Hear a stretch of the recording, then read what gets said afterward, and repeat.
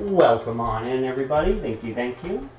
We are officially going to start this stream. I only have just a quick little sweep to take care of.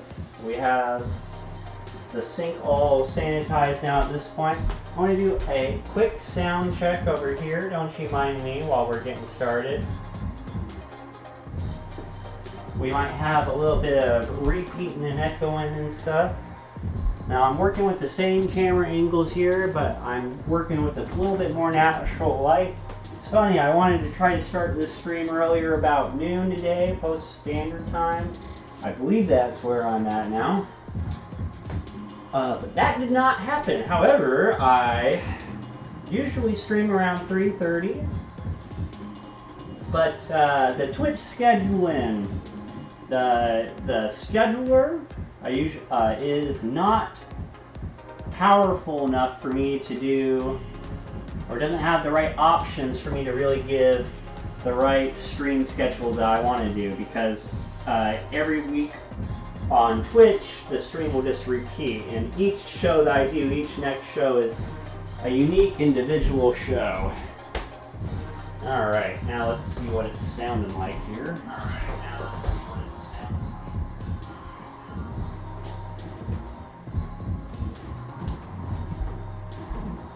And there you go, you only got the littlest bit of echo. Everything's coming in loud and clear.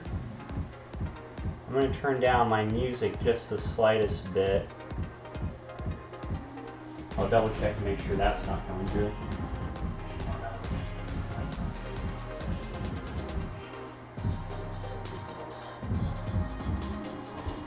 Looks like the, I don't think you could even really tell, but the music's coming up on the microphone just a bit.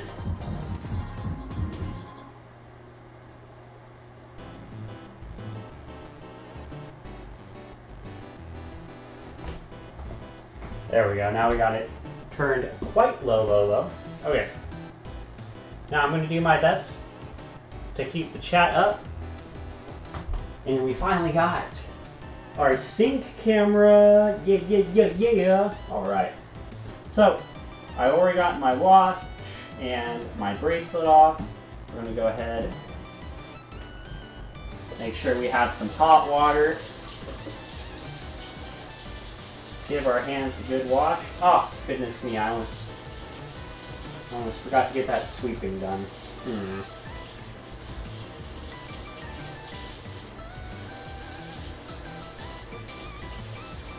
Really wanted to handle that before I got to washing my hands, but oh well.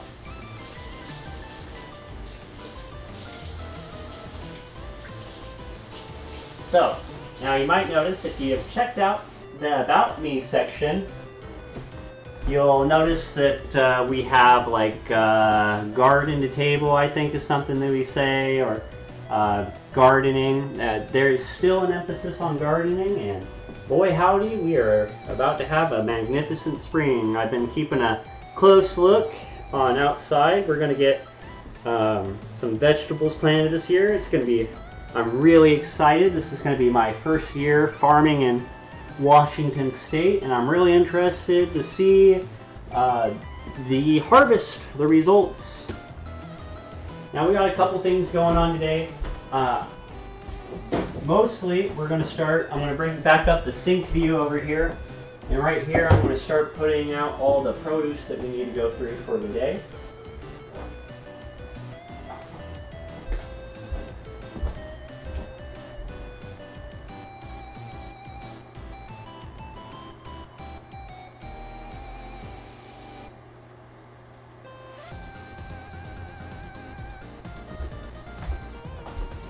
Still, my slides are still just the littlest bit work in progress here, but we'll make do with that. Nice little TV screen for you. Okay, so the first thing I know I have, some Crusties.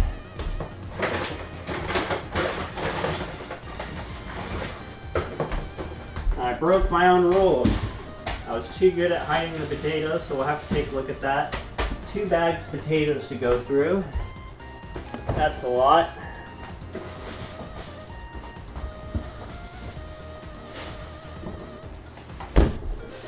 We also got asparagus,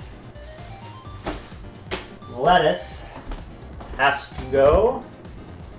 Let's see what else we got.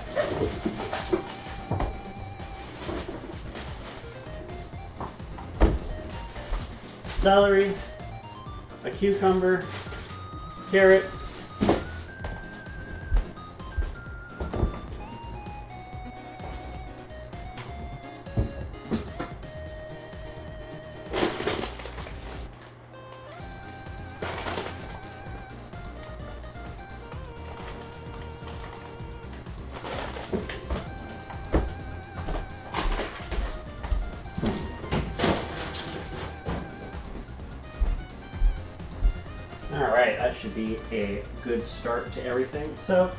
already gotten this nice and sanitized here.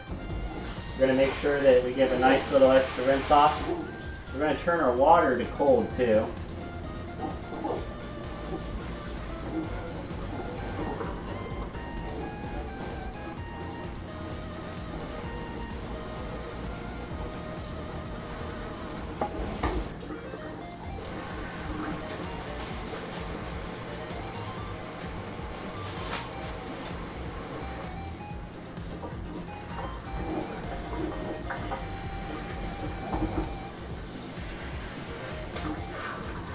Couple of these leaves, a little, a little browning, a little wilted. We'll just pull back the outer leaves on this.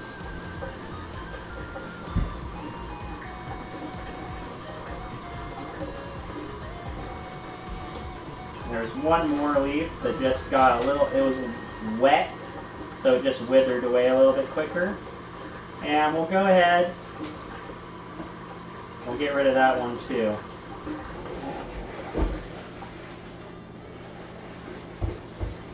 Now this is the root, this is where all the dirt dirt is. Then we're also going to kind of open it out up because bugs like to hide in here because that's where it's really close to all the water, the wateriness of the plant.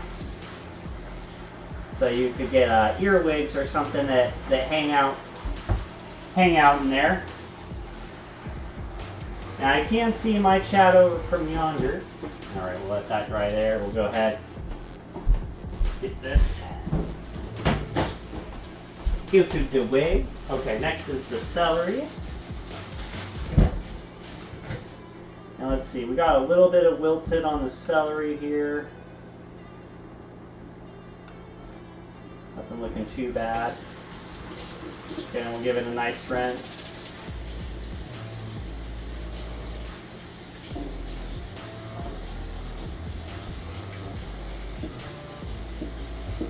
Anything that kind of pulls away from it. Now, people always have the question about, like, well, how do I know if my vegetables are good and bad? And uh, I think I'm the worst when it comes to potatoes. I've been brought, I should only have one bag of potatoes here, and here I have two. And then again, I'm opening this up, get all the water.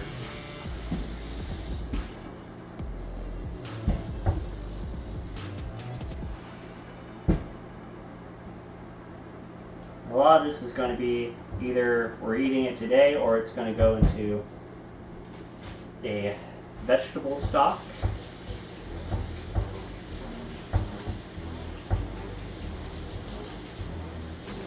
Gotta make sure you keep that water cold. This cucumber here, not traditionally, it's not on the recipe slide.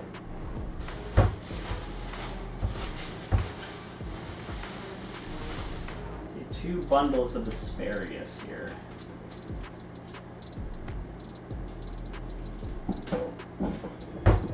We'll go ahead and we'll fan these out.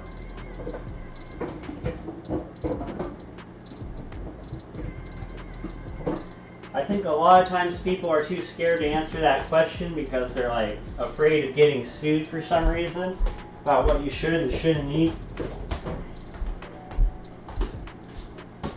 And what I'm doing here on this show is I just show people how I cook, how I eat, trying to show everyone it's actually a lot easier. I think, um, I think uh, the more I look at it, like the more people like want to. The more I look at it, there's too many cooks. They're all about like, uh, oh, you have to have years of experience to be able to cook, and to do to to be on my level, you have to put like 10 years in the industry. And I think that's a load of hooey. The only thing really that uh, my years of experience brought to me with cooking is now I can cook and talk at the same time. I don't think uh, cooking, really, really, really, anyone can do. I think the part of cooking that gets people is the kitchen stocking, which is a slightly different beast than the cooking. And then once people even know what to shop for, then they're wondering how long can it last in the fridge for? What's bad and what's good? I myself am very interested. Oh, this this one might not have lasted. Let's see. Yeah, so there's some extra water. That's a little mushy. Let's open it up and see what we're looking at here.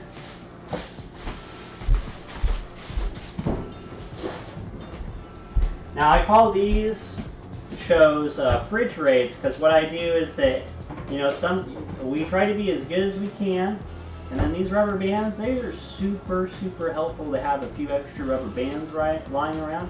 So this is part of the reduce, reuse, and recycle is go ahead and, and set those aside for something that, that you might need. We're going to go ahead and fan this out. And we're looking for any anything moldy. We're making sure because we're giving it a, a, a, good loop. This is right at, at the uh, the end of its life for this for a lot of these vegetables, and that's why we call them fridge raids. Because what we do, part of what we do on this show, is that we reduce our food waste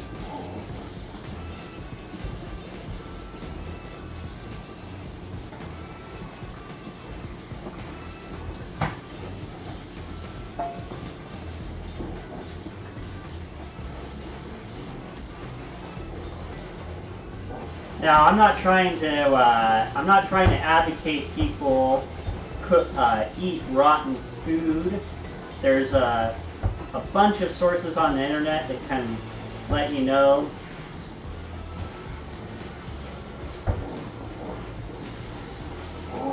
And I try to be a no BS streamer. I always try to let people know when I'm a little bit unsure of something. And I never say that there's a definitive way to do something. Uh, I really, uh, there are a few things, like uh, definitively, we always wash our hands before we start cooking. And I think another big one that we really live by here on this show is clean as you go, sign of a pro. That's why I'm really happy to have the sink here because I tell people that I end the stream with clean kitchens like 90% of the time. And I never really get to show that. I never really get to show the whole cleaned out kitchen. Let's see, it got real quiet on me all of a sudden, I'll make sure that this is still up. Alright, now, these potatoes snuck up on me, so we'll take a look at these guys.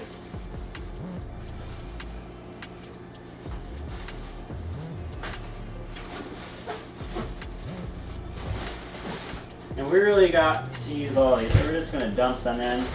We're going to see what we're working with here, because some of these might be too far gone.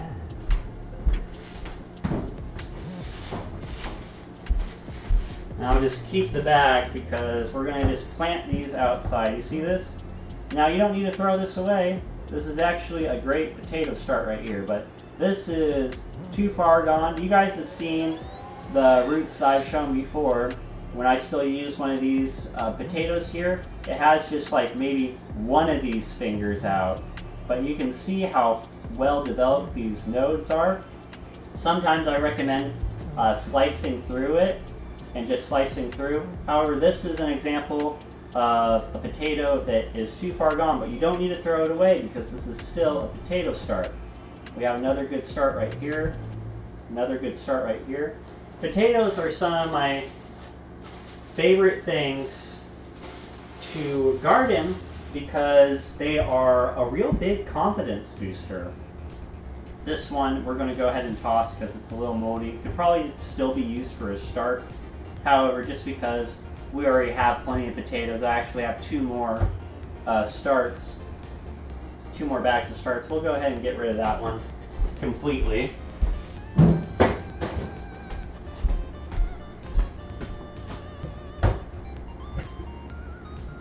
And then this one too. And then all the other ones, no starts yet. This one just, just starting. So we'll make sure to give those a good wash. And this little guy, we're going to go ahead and get rid of him. He doesn't have any starts, however, he's just a little bit too small that I don't quite trust his, his thickness. Uh, so that start, we go in bag. And then you just uh, plant those outside. So you can even um, you can even uh, plant tomatoes or potatoes in a bag. Actually, you can just get it has to like be like a burlap sack.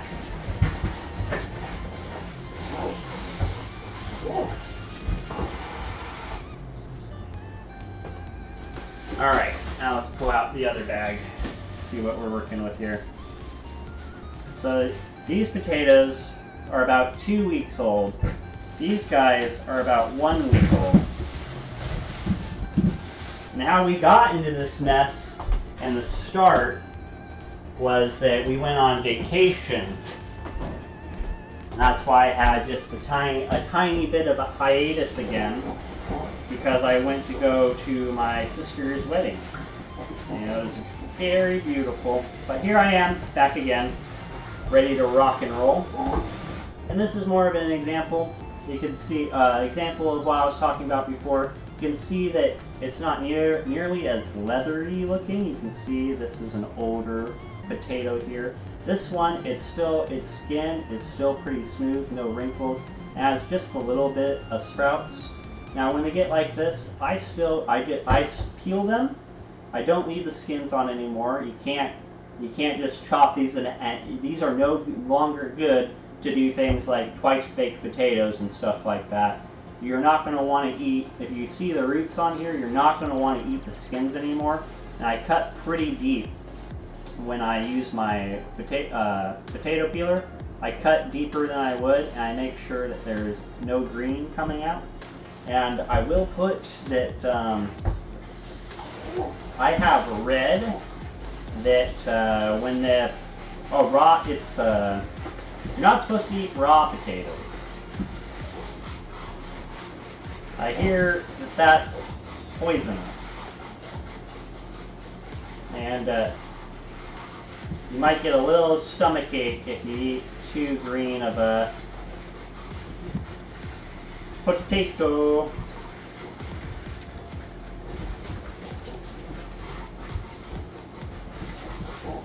Alright. Giving those a good rinse and we'll get back to that here momentarily. So all those potatoes are done to go. Now these carrots are going to be fine. I actually read uh, recently a great way to store carrots is you can, I'm a big fan of uh, using mason jars to, to store other liquids and such. And if you uh, dice up carrots, they can actually last four to six weeks in those water. Let's see. I just need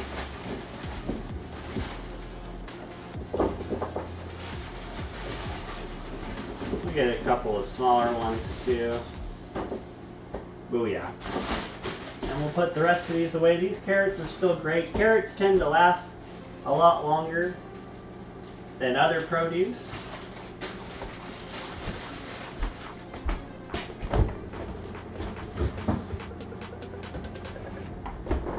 Alright, back in the fridge with that one.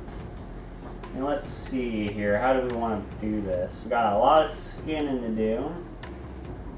Those vegetables are already taken care of.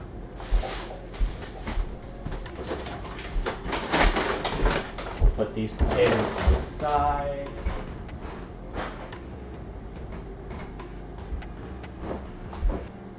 And we are going to be cooking these in a cast iron.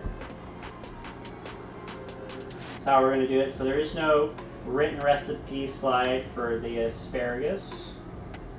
We're just going to kind of be winging that. Asparagus cooks very, very quickly, in fact. So there's another way where you can actually just uh, set it up top like this. You'll break down the lower ends here where it snaps off easily. The older the asparagus is, the, le the less likely it is to snap. So if you don't know, not sure how old it is, the that's still pretty fresh. You saw how easy it snapped. Let me see if I can find a piece that's not so fresh. Nah, that still snaps pretty easily, nonetheless. Hmm. Uh, we did a pretty good job. Ah, there we go. Here, you saw, even then, I could like bend it, but it still breaks, indicating that it's still on the fresher side of things.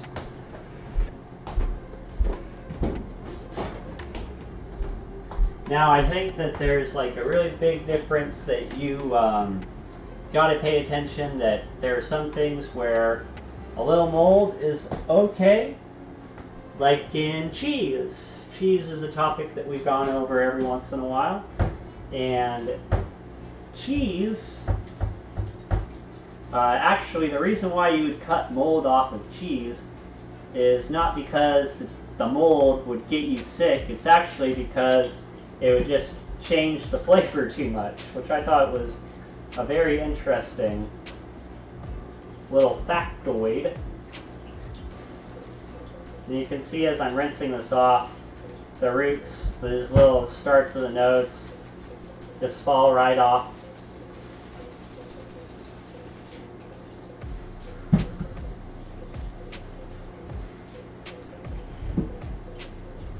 And you can see how those nodes aren't growing from the inside, but they kind of grow on the top. And then what you do for those starts is you'd actually cut the tomato four or five times. So it's not one potato per start. You can cut that potato up, three or four about them will start. And I lost my train of thought a little bit as I was explaining why I like potatoes so much to garden is because they really won't let you starve. They are really, really easy to take care of and grow and a real confidence booster. If you're fresh to the garden, another confidence booster would be lettuce. Lettuce is another great confidence booster.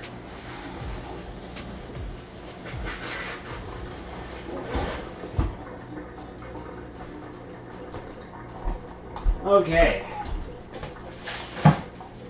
We also have this bag of onions that we need to go through. So we'll have that there.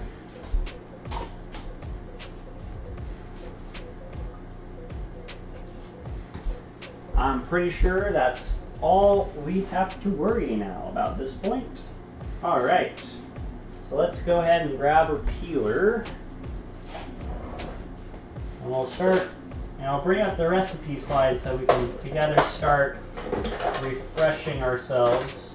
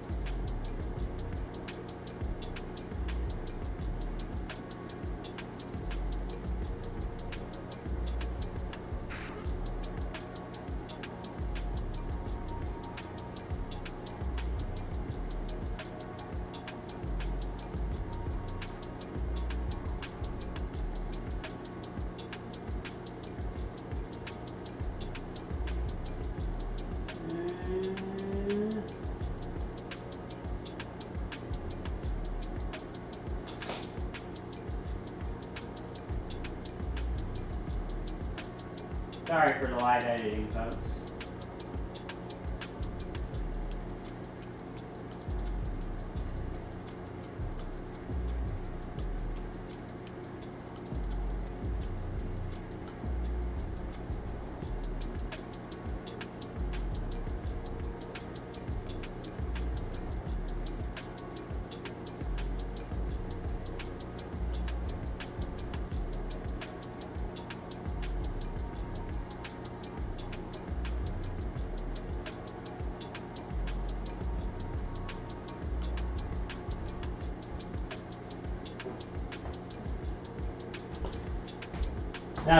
That those that uh, the vegetable stock recipe actually calls for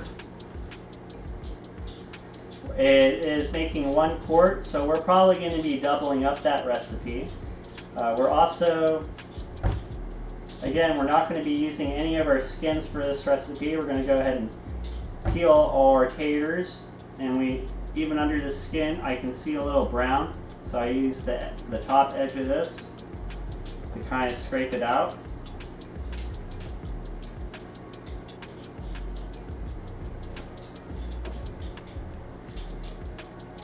And I think what I was describing is uh, some things where you can't just pick the mold from is something like bread. I hear that once you see the bread spore that's actually already uh, baked itself all the way through the bread. Which makes sense about how uniform the bread, you know, how it uniformly cooks, it would, it, it would uh, be infected kind of the same way from the inside out. And then some vegetables just get too watery, so their cell structure breaks down, and that's what's causing it to uh, start to mold up or decompose basically. I think that I wouldn't recommend anyone eating mold, but I think that there might be somewhat of a difference between uh, something decomposing and something that is molding. But we would need to probably talk to, let's see, who would know that for sure? Hmm. What profession would know the difference of something decomposing versus something that is rotting? What's the name of that job?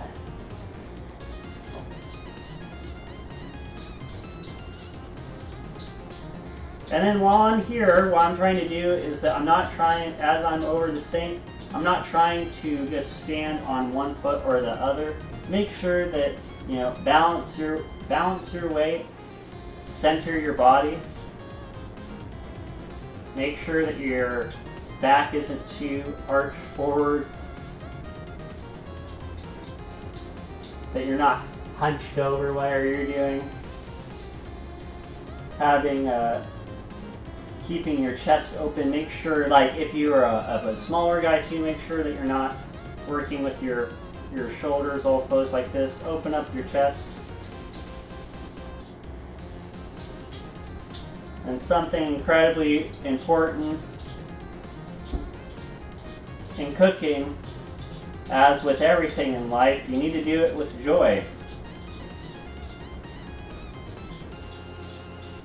You need to be in a good state, a good state of mind to truly bring out the flavor. I fully believe that your intentions get baked into the cooking.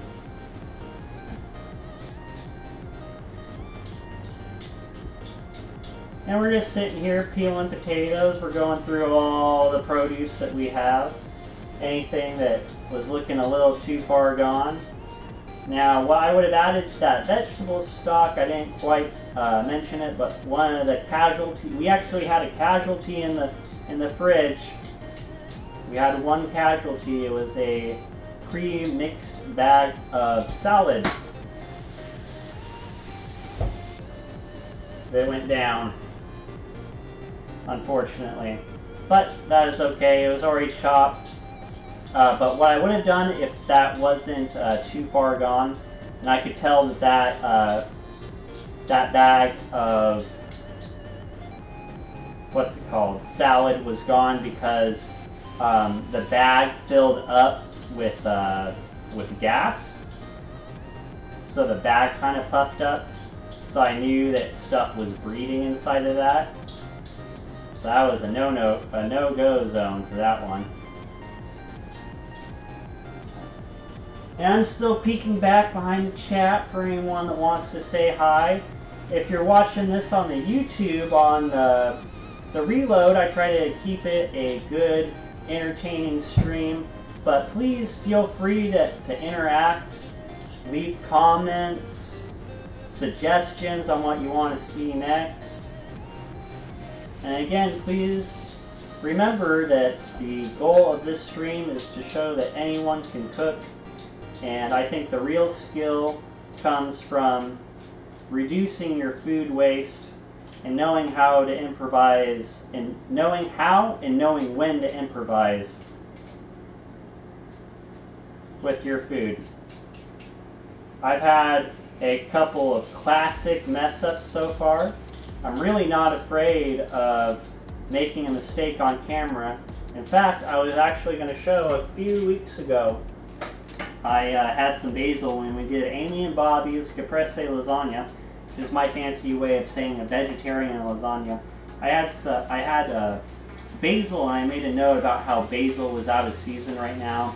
And this is actually one of my failures right here. Is that um, I did a very um, this one I did okay potting and gave it enough room, but this one right here that I had potted in this one just had no no chance. I really uh, I really sabotaged the root system and it just had no hope. Um, I was still pretty surprised to even find living basil like that because it is, uh, it was just two, it was three weeks before spring, maybe four weeks before spring, before the equinox hit. And I was just surprised to see it. So it probably had a really hard journey uh, in the truck on its way over. Oh, speaking of which, chat. There goes chat. Gotta bring that back up. He's over here on the old Boba Fett.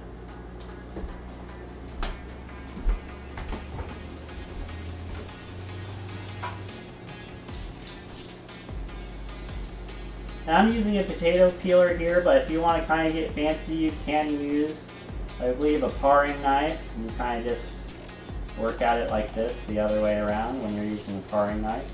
Um,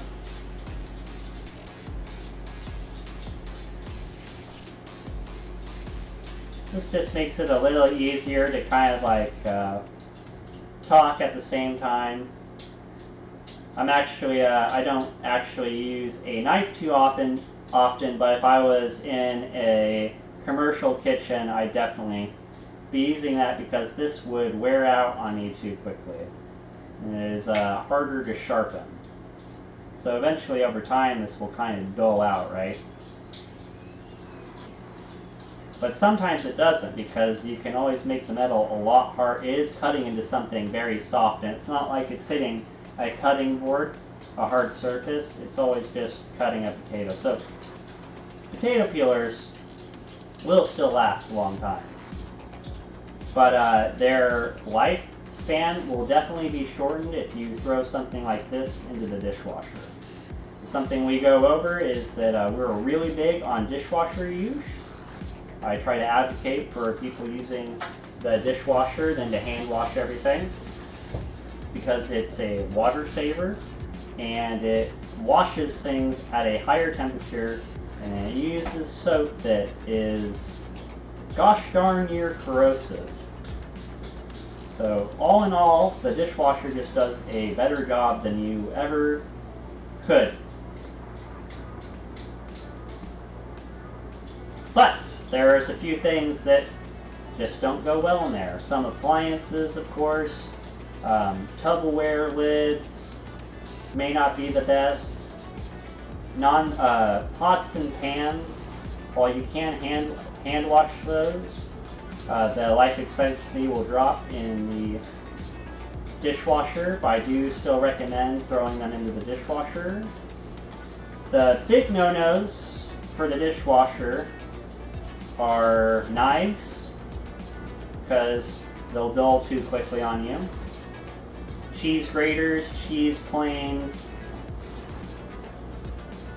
wooden spoons, even though I've been pretty bad about that. I say no wooden spoons and I'll still end up washing them, them every so often. But I really should just be using, I should just be scrubbing them clean after I'm done using them and then washing them down with some distilled white vinegar. And then also, if you're uh, happen to be viewing me on the on Twitch, you can actually leave a suggestion down the suggestion box. You can, uh, so that is the way you can comment kind of directly on my Twitch profile. If there is something that you want to see me cook, I made up a recipe to cook for Amy and Bobby, and that was the caprese lasagna. It was almost a flawless success, but I really would like to do that recipe again just because uh, we did a white sauce and it just took me, uh, I had to fix the white sauce.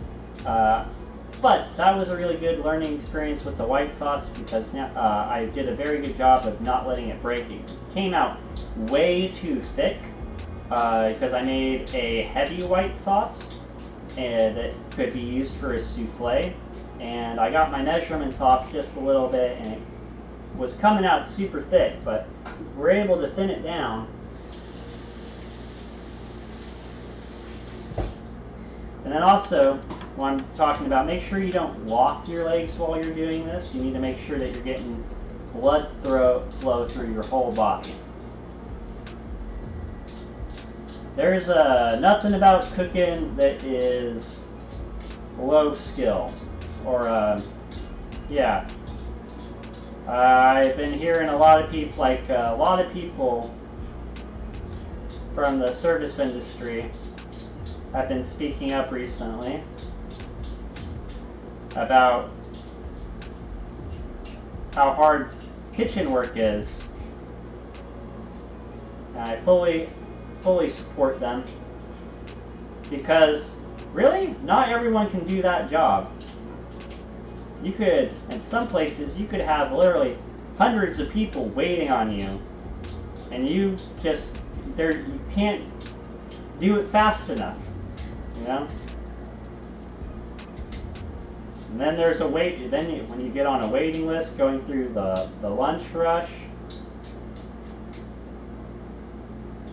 the and it's uh, always been really the wild, wild west for everything. Like the restaurant seems to be the wild west of labor rights, but it's still very backwards. It's still very sexist. It's really funny about how there's all that there's this bunch of quote unquote traditional roles and about how people say that women belong in the kitchen or that but all that changes as soon as you get out into the commercial kitchens and all the all the slutting. You have to be it's male dominated again. And something else that I really like to uh, articulate on the show is that uh, leave your Hell's Kitchen shenanigans at home. Like, that is not the way a kitchen operates. Uh, you, uh, if you are a big yeller, if you're yelling all the time in the kitchen, if you're throwing stuff around all the time, get lost. You ain't a cook. As much as you try to be, you're just poisoning the people around you with your mentality. There's absolutely no reason anyone should be yelling in the kitchen Now there's a difference between yelling and what's the word I'm looking for? Enunciating, isn't it? Projecting. Yes, projecting your voice so your kitchen can hear you is different than yelling.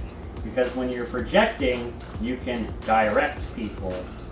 But if you're just a big old yeller swearing a storm up and down, like what are you even doing? Just making everyone around you nervous for no reason. Then you're going to go up and throw hands when something isn't happening right. It's totally backwards. It's but I see these examples all the time on TV, and I just really want people to know I'm like, hey, that's not normal, that's not right, that's not the way it has to be. Um, and luckily, oh man, I also always really try to sing the praise of Gen Zers because man, oh man, that I, I I've been waiting. I've been telling people I'm like, just you wait for these folks to get a little bit of emotional maturity because they've explored their emotions more than any generation I know have before. And now they're getting that emotional maturity, and they're some of the best communicators that I've ever seen. They're putting us all to shame. And so you guys definitely can calmly address the situation. But you have to understand that that person's not going to want to do it if there's like food orders ready to go out the door. And people are really quick to try to fire you on the line too. It's a little different than other jobs where people will try to fire you while you're on the line.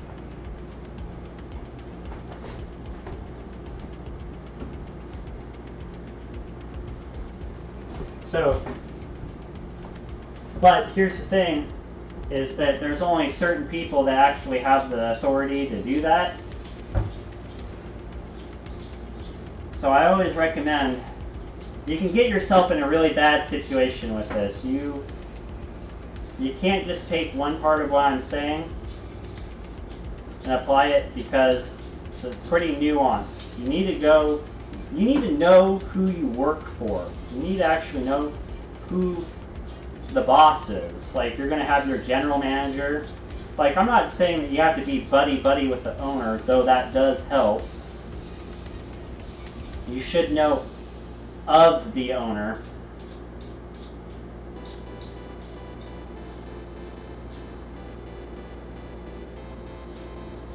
But you should understand who your general managers are. You should understand what the expectations are of you, of what to do. And every kitchen's a little bit different on how they split up the work. What you should not be doing as a cook, because it's cross-contaminating, is that you should not be going back and forth between cooking and washing dishes. Now it's a little bit different because you can cook and then at the end of the day wash dishes. But it's a sanitary problem if you are cooking, washing dishes, and then going back to cooking and then washing dishes again. That's frankly downright disgusting. And uh, close second to it is frankly waitresses that bust their own tables. Um, that's kind of really gross too.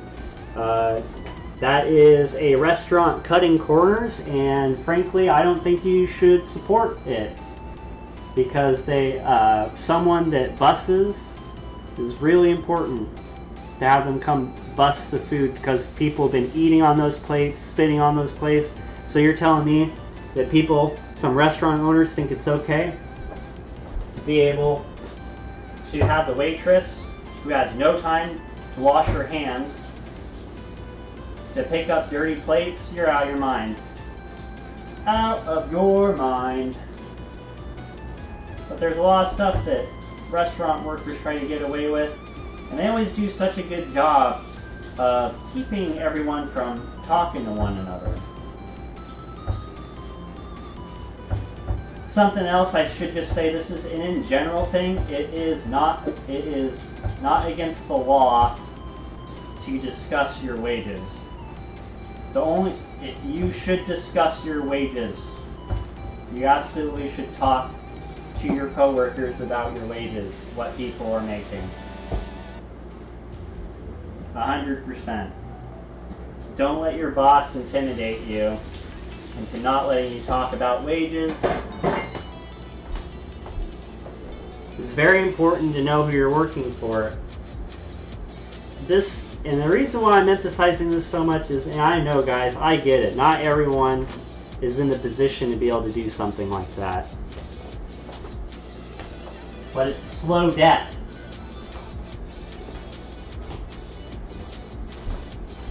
Alright.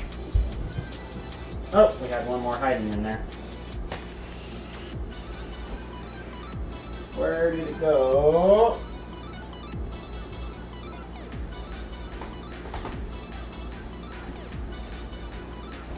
I know a lot of people are intimidated for to ask their boss for a raise or something like that. And you really shouldn't be. Because honestly, I feel like the restaurant, we should just leave, we should leave tipping behind. It's a old practice that uh, is not good, to put it simply. There's no reason, like that. Basically, anyone that's any restaurant that's tipping, I know people like to tip, but that's not the point. When people, the people I believe in tipping in are your DJs and your streamers. You know, everything else, like specifically, when I do own a restaurant, I'm not going to have tips available. It's going to be an insult, actually, for people to think that they can take care of my employees better than me. Because I'm going to make sure everyone's well taken care of.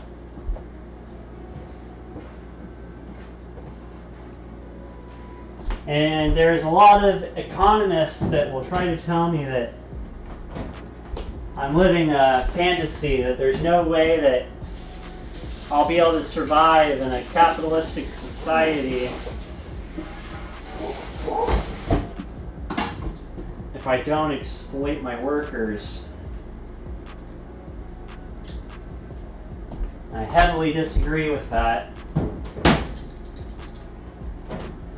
Because I believe in people. I believe in the goodness of people. And when you invest in someone and you take care of them, they will invest back into you.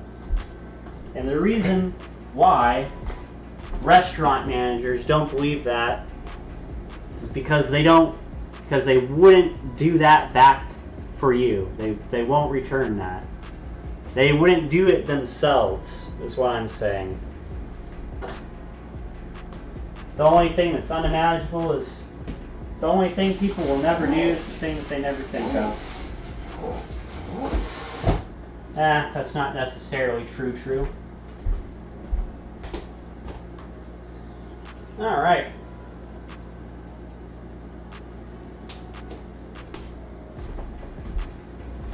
Oh yeah, tipping is definitely...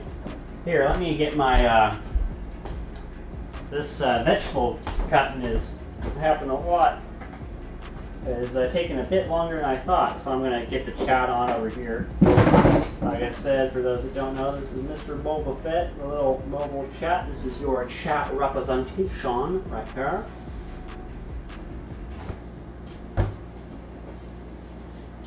And I'm going to give this a good little rinse. Yeah, but there's so there's so much that happens. It's just ridiculous. Like, um, that happens in the restaurant where people are like, "Yeah, I've been working a, a 13-hour shift, and I was told I had to work here, and until uh, my relief came." And then I've heard I've heard horror stories where their person was like, "Yeah, I had to get, I had to go off the clock, and then I had to stay and work until someone showed up." And it's, it's like almost unbelievable that someone would let them do that to themselves. But it, it's a, it, ah, it broke my heart hearing a story like that. Really did. So this guy wasn't even getting paid and he was working. And that's what employers will do to you. They will gladly see you work for free. Like, what? That's re- absolutely ridiculous. And they'll try, and in the restaurant industry, they'll they'll try doing that to you all the time. You know, when I first started in the restaurant, I didn't know that I could get full, being a full-time employee, that I could be handed benefits. I had no idea that was a thing. And here's, I was working 40 hours all the time. But you know what that manager's job really was? I'll put them on blast. I don't give a, I do not give a damn, but today is not that, that day. I'm not picking a fight with them today. But I've known some scumbag managers and their day will come. But the thing is, is that I try to just let karma take care of most of that stuff because you know what? Those restaurants fail because they keep on relying on taking more and more from their employees. And at this point, employees almost have nothing to give.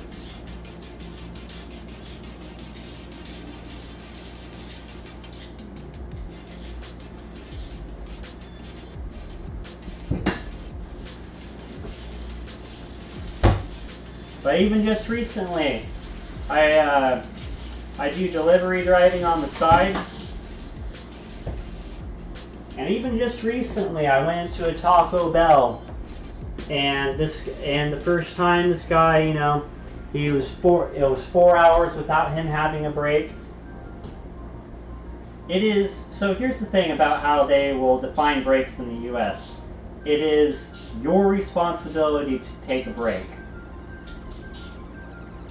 Is how they'll define that. So, and guess what? The more times that you work through your break, you're not doing anyone a favor.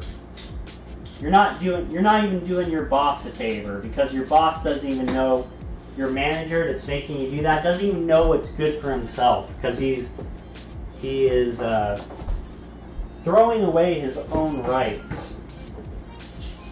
And the thing is, is that people already lost their jobs. People already got beaten. People already got threatened.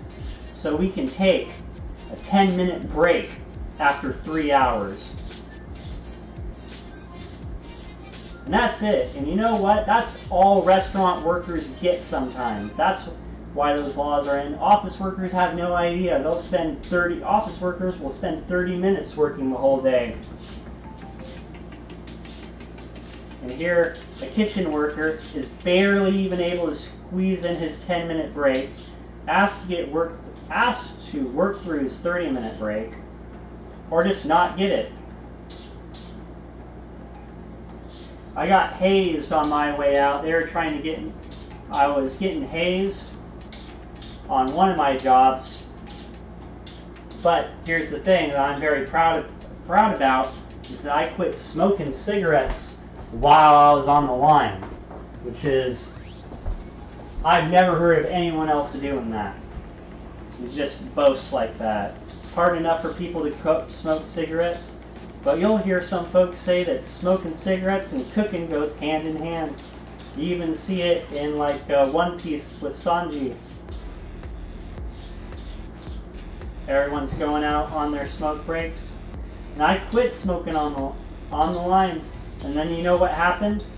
I didn't get breaks anymore. And they just kept me on the line for eight hours straight. And I did it. Just because. I shouldn't have done it like that. I should have demanded a break.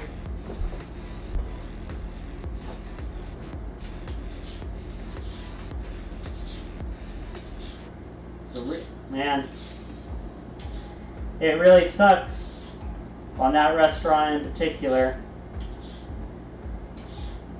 because I met some of the best people in my life through these restaurants. But I've also met some of the biggest scumbags in the world through them too. Absolute scumbags. And these people are cooking food for you. And this is why I'm always chatting away about myself, because I want people to know the place that I'm coming from. I want people to know that they can trust me. That I'm feeding their soul in a good way.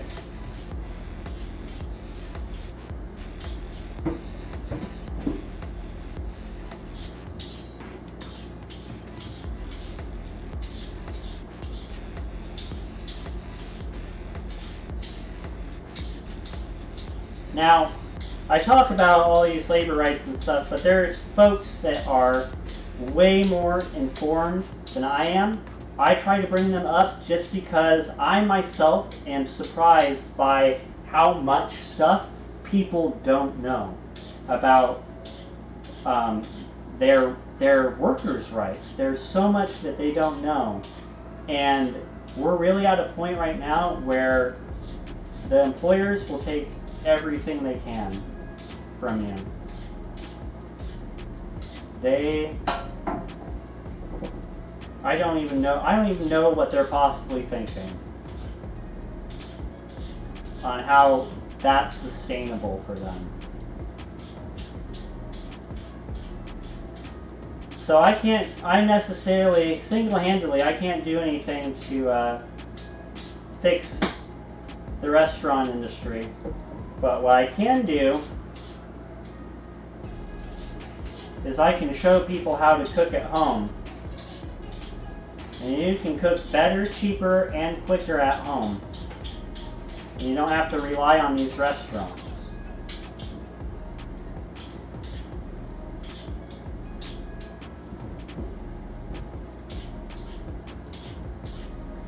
Because my next complaint is not only do they treat their workers poorly, they're not treating their customers much better either.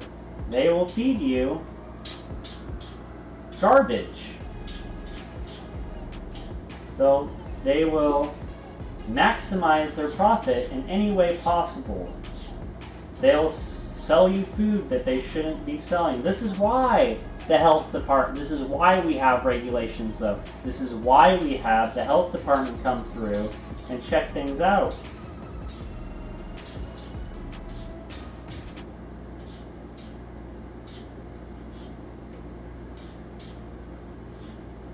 Because restaurant workers or the restaurant owners will cut any corner that they can.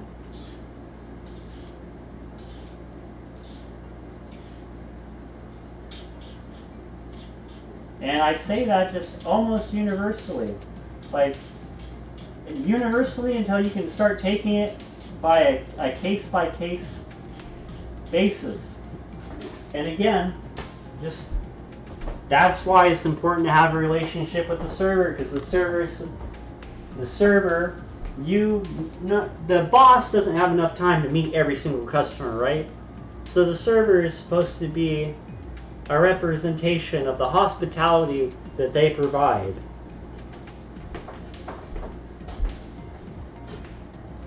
So the server is supposed to be able to stand by the food that they serve you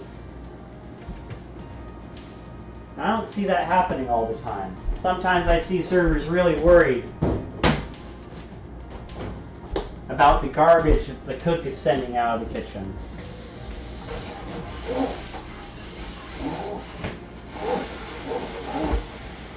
So there's all these systems in place to make sure that you're fed a good meal slowly falling apart.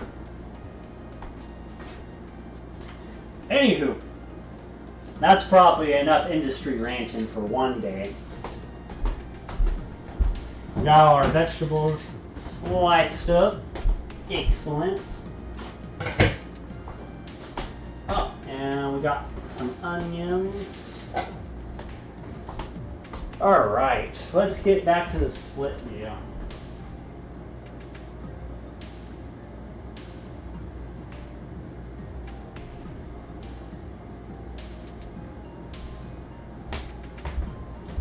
We're going to take this time to get a little sweep done.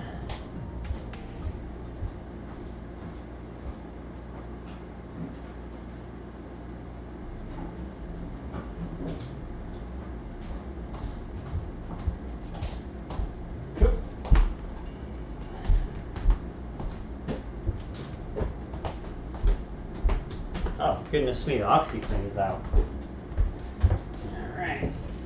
That away, a little sweepy sweepy. And again, this is clean as you go Cyno Pro. It also helps you cut down on the mopping a little bit because you're not grinding any food into the floor. It's not catching onto the bottom of your shoes and transferring to the carpet. And something while while I'm motoring along and whatnot, people really like to uh, people or couples in particular are really adamant about like, yeah, I'll cook if you clean and stuff, and it's fine if if you have that agreement if that really works for you. I just want to throw it out there that it's a really dumb way to split up the workload. Or not a dumb way. I just I eh, I said what I said, I guess. Shots fired. I just think that it's uh, you save so much more time cooking and cleaning as you go.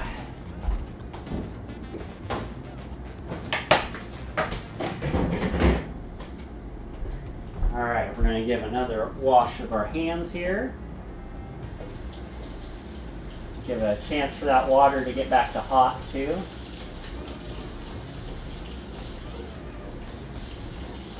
If you are working in a commercial kitchen, there's lots and lots of times that you're going to have to wash your hands. We're talking about employers cutting corners. One of the worst things I see in the kitchen is it's always the hand soap. It's always that antibacterial foam stuff, and it just cuts through my hands so bad if I wash my hands the amount that I am supposed to. Now I got a nice little lotion routine going on, so that wouldn't be as bad. But one of the small recommendations, the quality of life improvement that you can bring to the kitchen is your own hand soap. Something that is a little higher quality than what they're offering. Or even see if your boss would be willing to throw down on something like that. That's a really, if you're too nervous to um, ask for a raise. Uh, this might be one, or if you just um, are unsure, if you want to practice your negotiation skills without bringing money into it for something, that's something that you could talk to them about. Hey, Hazik, sup nerds?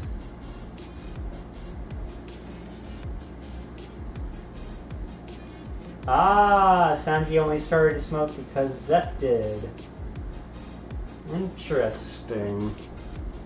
Hey, that makes a lot of sense. And yeah, but that's really how the cycle continues for all that.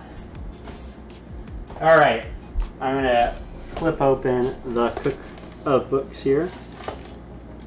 So, we're gonna go ahead, gonna check.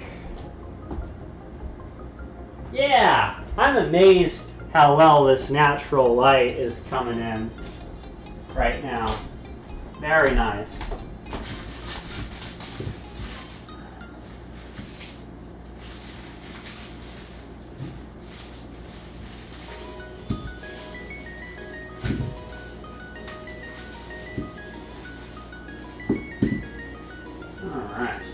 How are you doing, Mr.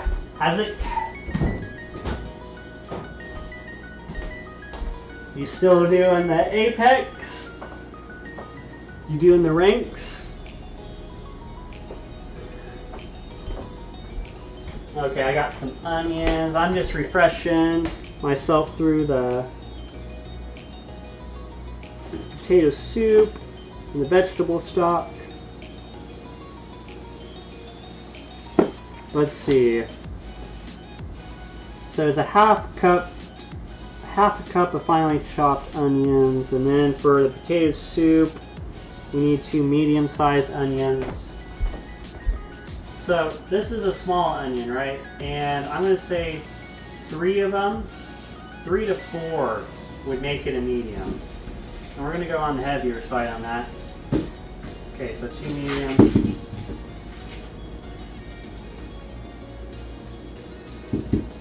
Then we have these left over. What I really like about this cookbook is it's a double bookmarked, so I can just switch back and forth.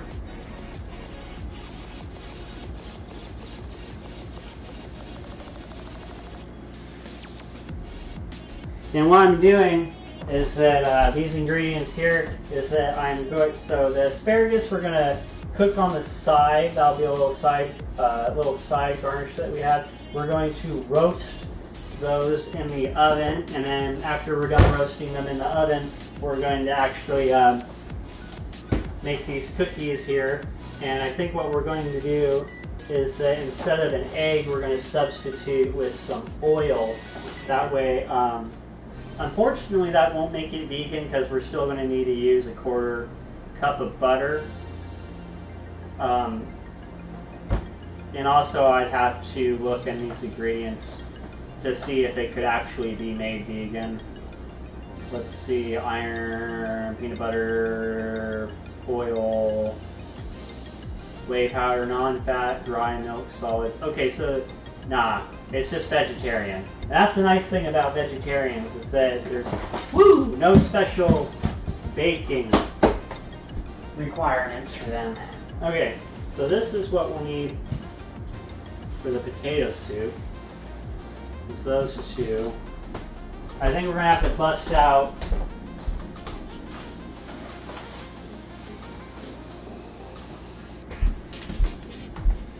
one more onion to make this all work. So we have some yellow, white onion, and now let's take a look at our celery here for the tomato soup. Is the vegetable stock. Let's see, four ribs of celery. That's easy.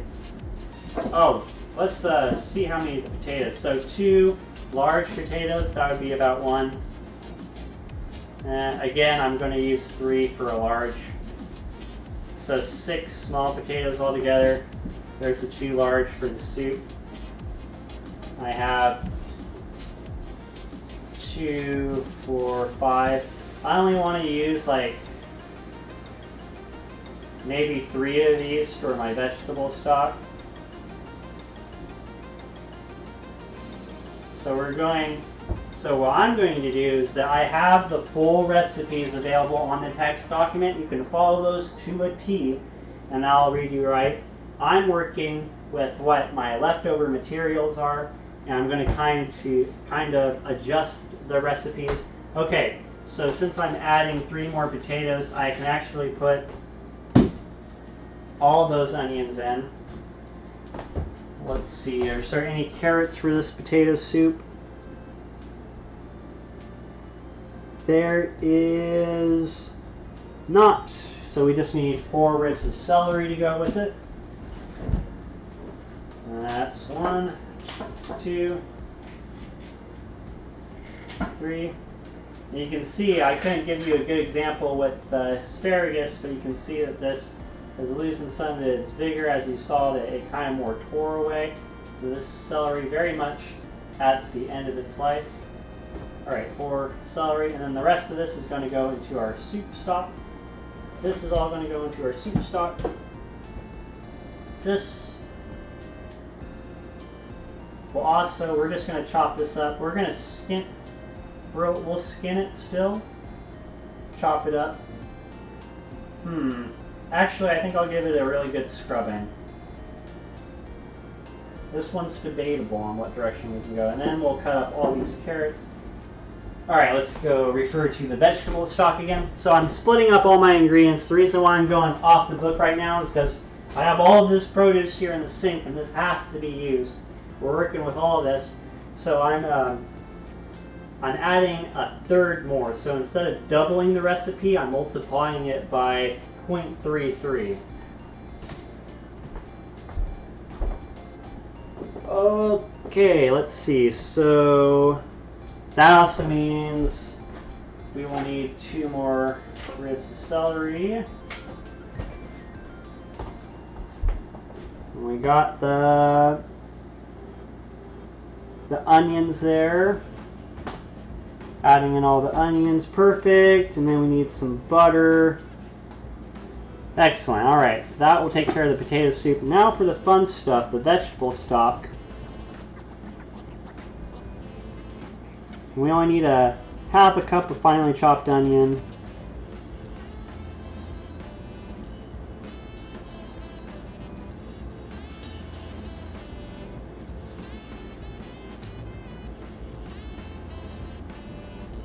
All right, and we're gonna get our big pot out here.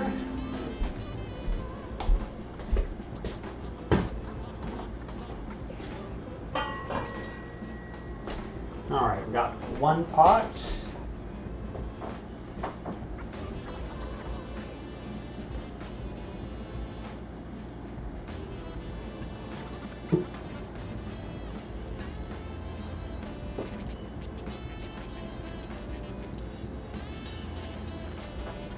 Hmm.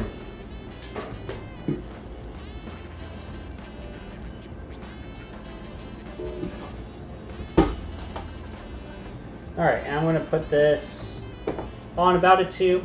And again, this is more, this isn't how I usually cook in the kitchen. Um, with the cutting board up here, I do this more for uh, just for you guys to be able to see.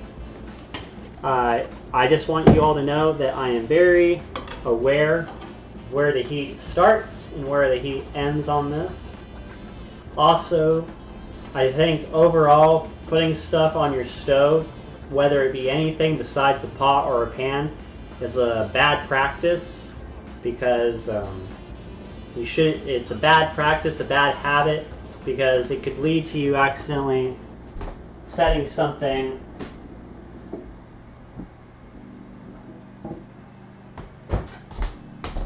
We're gonna wash that down. End up setting something and melting it, like putting the saran wrap down or the aluminum foil down. Okay.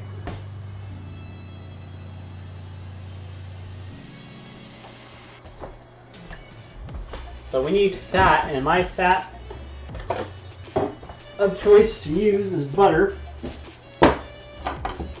So I'm gonna wash this cutting board down. My go-to method to use distilled white vinegar. It's a nice natural way to clean the cutting board. And I put a nice douse on there. Ooh, crackers down, crackers down. We're even gonna let that roll down a bit. Yeah.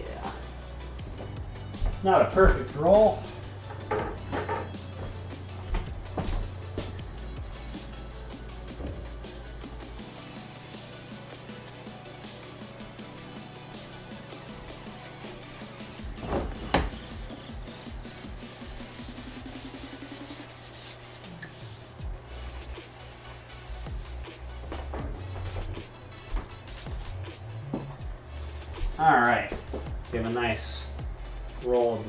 Here, and we'll get cutting.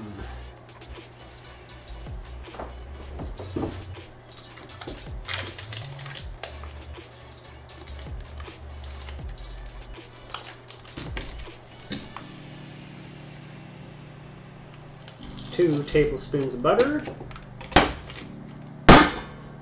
Let that slowly melt. Put this aside.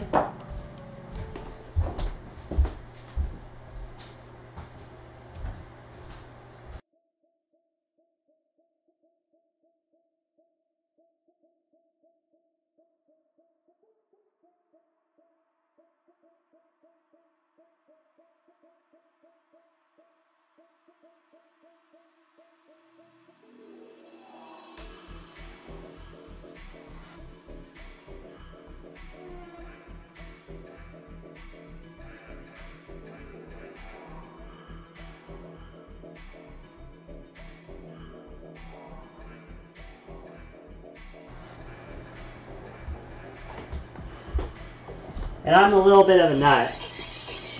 This is the way I was taught sharpen blades.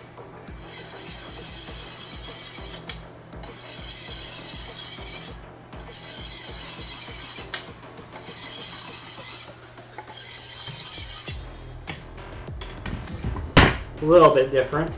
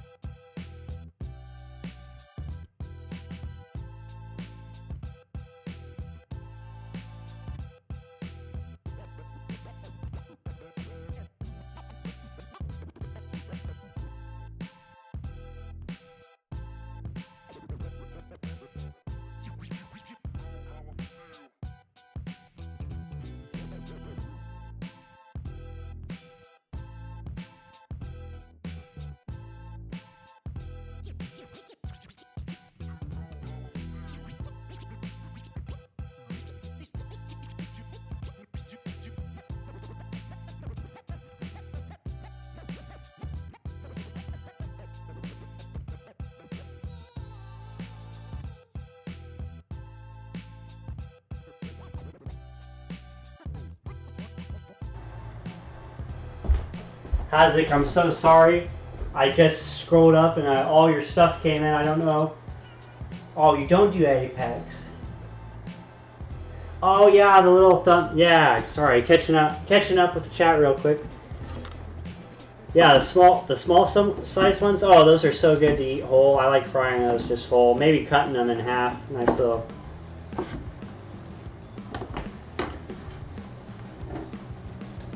A large potato, I usually consider a large potato to be like about three, about ni nice, about yay big. So this is would be about that much bigger overall. Let's see. I clean, you cook. Oh yeah, there. Yeah, exactly.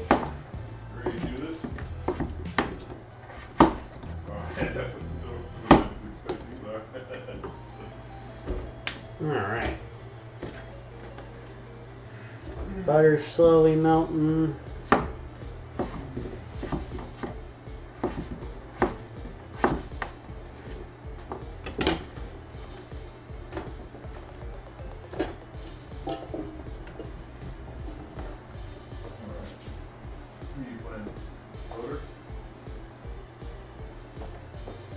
Shoot, what was the last thing I saw you stream, Hazik? It might have been Stardew Valley then. I can't remember what shooter you were playing. Alright, flipping back over the potato soup.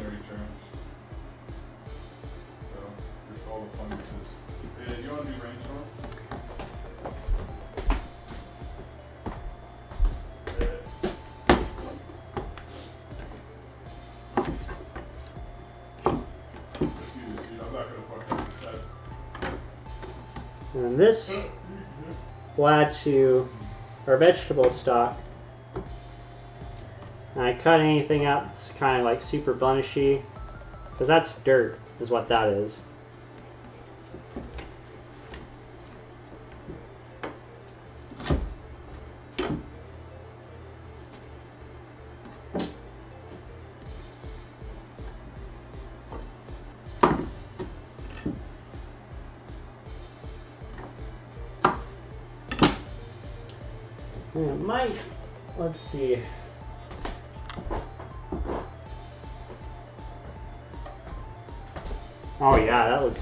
Looks great. It was probably getting a little dark there.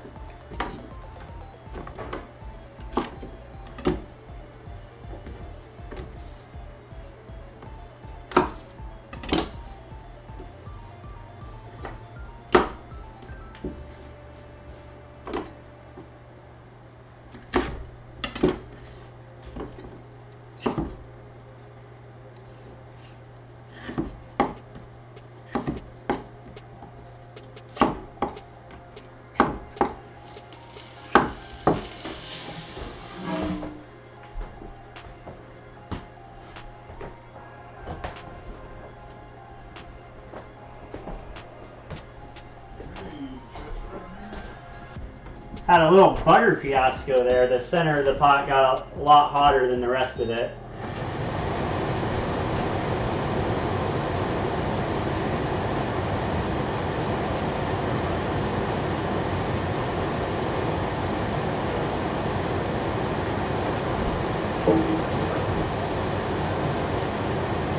So I'm doing, the butter was sitting over on the side here. The center is at its hottest right now. So I'm just running the butter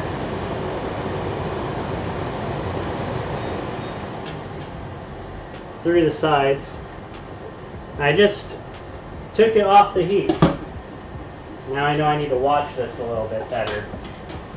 I'll be able to start throwing in, sauteing my vegetables and stuff. I might need to add just the littlest bit more butter. That center is super hot. You gotta be very careful because what you don't want to do is burn your butter here.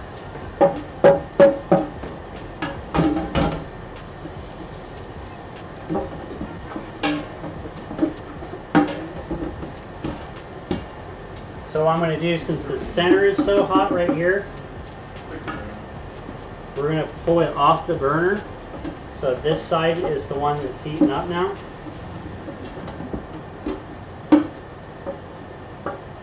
And you'll you'll be able to tell if you burned your butter if it has a brown consistency to it. So what I did is I turned the temperature down lower. I'm keeping a good eye on it.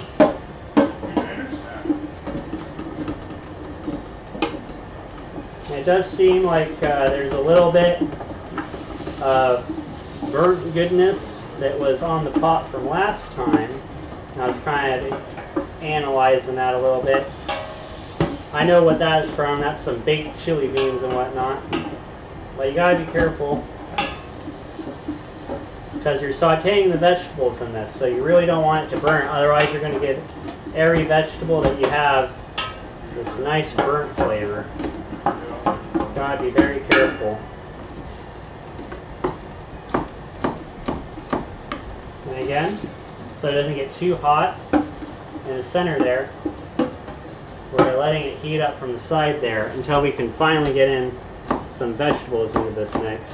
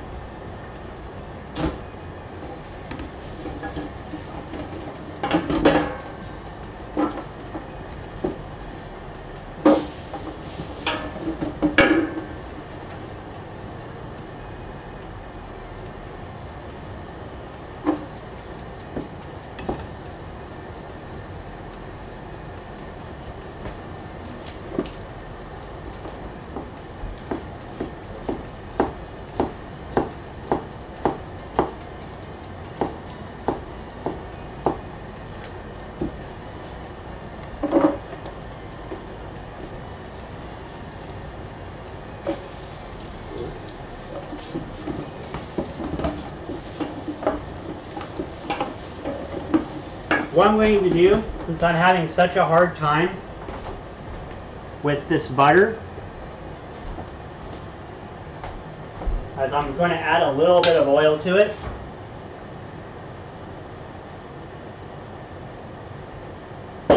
And this will help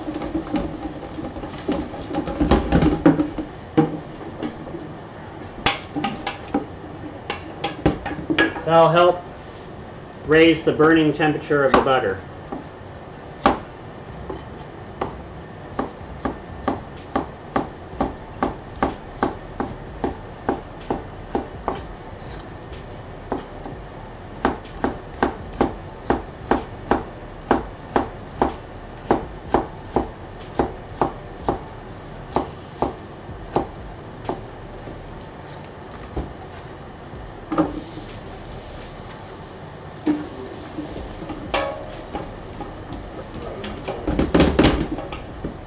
Alright. Now that I got a little bit more going on in here. Oh, that's really good food.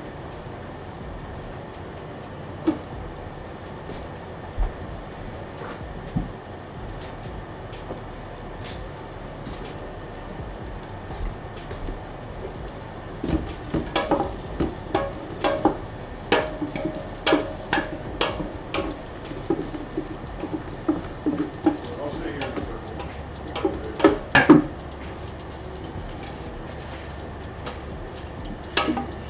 Shit, what happened? You like walked me into a wall. And don't mind me, this is, uh, You like walked me into a wall, dude. realize that that celery was for the potato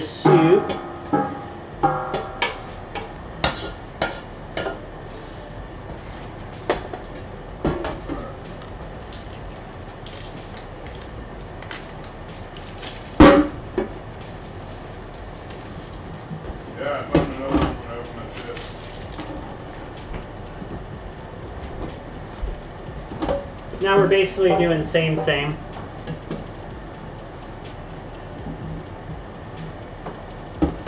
I'm being, uh, I added this to the soup because the soup will have other stuff going in it. I really, really want to do a good job with this stock, so I really don't want to burn it.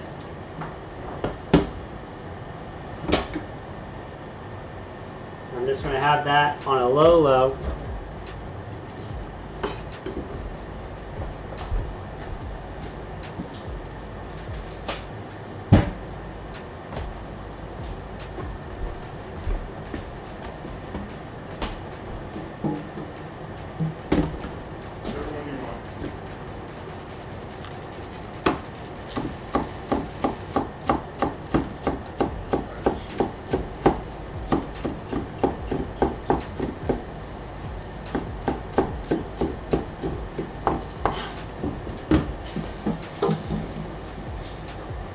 Careful.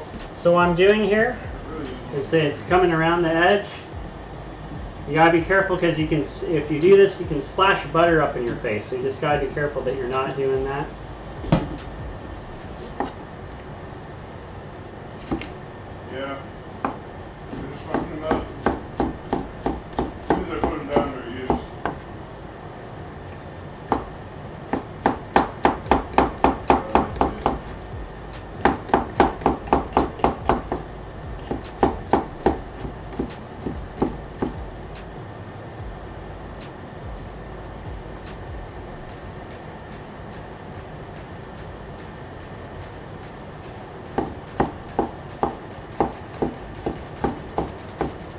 First thing the vegetable stock recipe wants you to add is the onion. So we'll go ahead and get that cut next.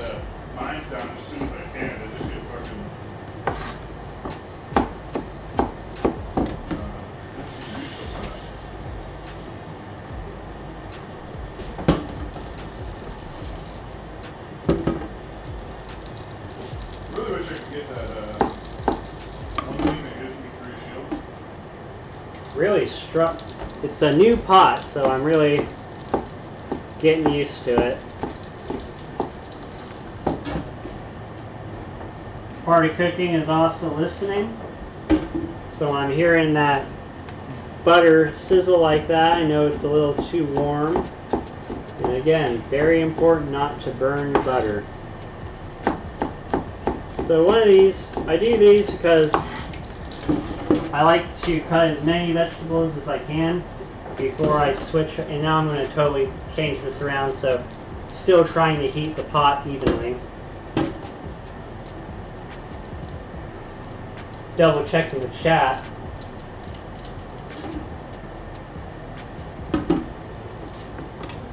So, I'm so sorry, Hazik. I missed all that, though. I, I didn't realize that I had to scroll up on my own chat. I thought I was doing such a good job keeping in touch with everyone. I really do appreciate the practice because that is going to be the next level of the stream is What do you think, lead or side? Really? cooking and cooking and yakking with everyone at the same time. That's really when it's going to show my skill for sure.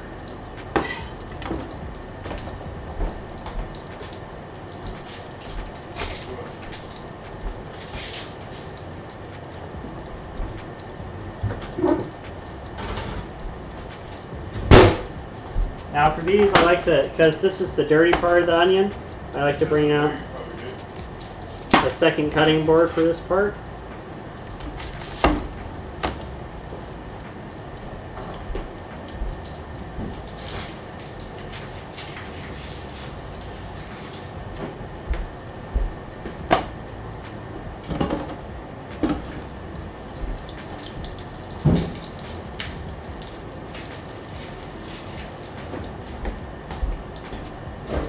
This is one of those things that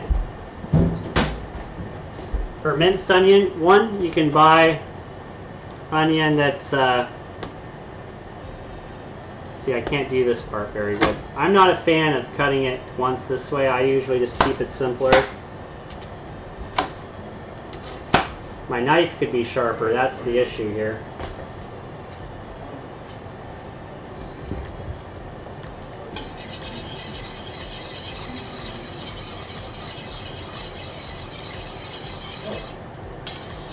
Um, you want to go through your thing?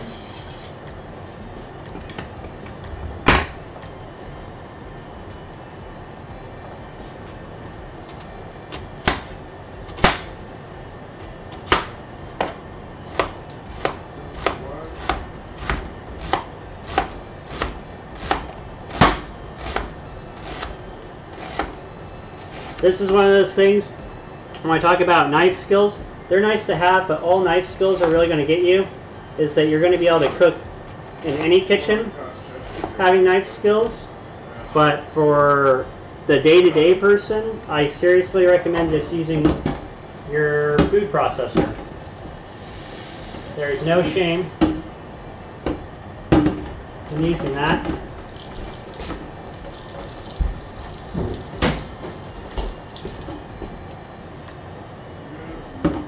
Butter is basically melted down.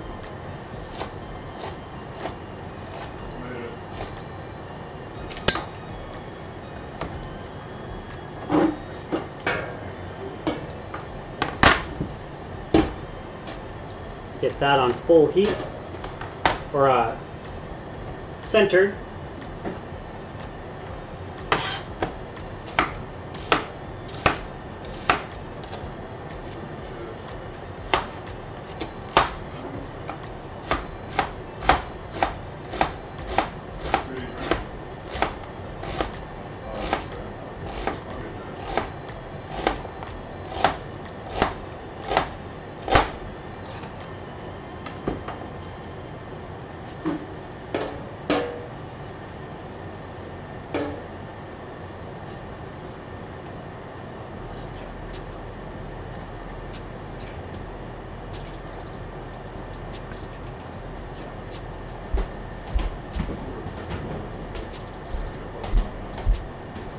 I to keep it there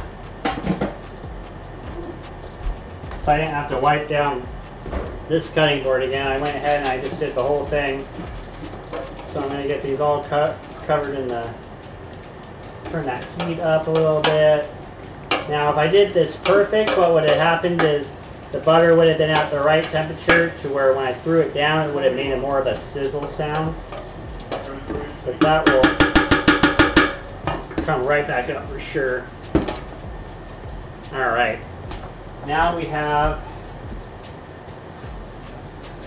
let's see what else we were supposed to add. So, for the vegetable stock, saute a half a cup finely chopped onions in two tablespoons of fat, a dash of white pepper, a dash of cayenne, and a teaspoon of salt.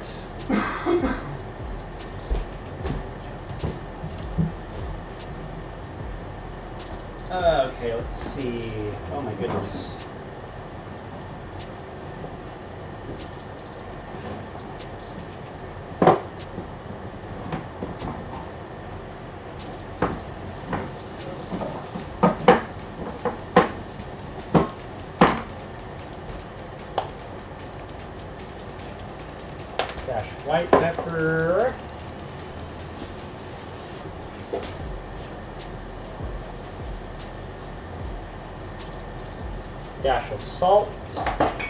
Shake it quite a few times just to keep an eye on that.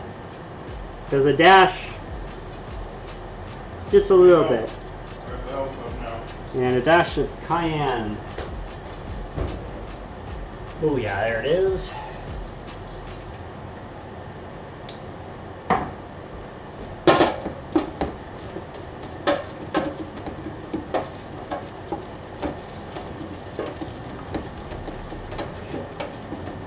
Which one you want?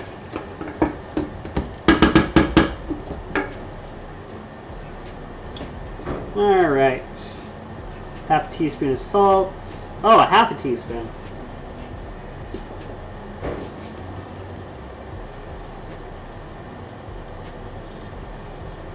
There we go. Half a teaspoon of salt. Alright.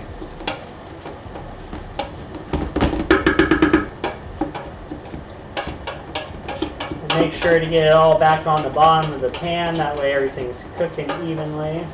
Bottom of the pot, excuse me.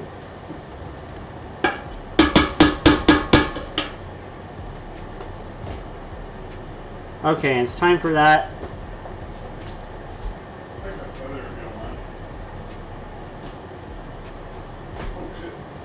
Garnish. I'm going to show you what I want to do for this. So this is uh, when we're adding in a, the bouquet garni, or the bouquet of garnish. So what we're going to do for that, just going to slice this bad boy in half, right? Put this one back over.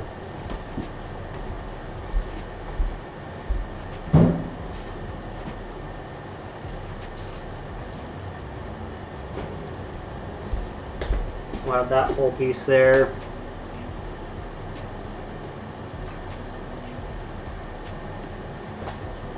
And like it, and we're gonna get the cloves, and the bay leaf.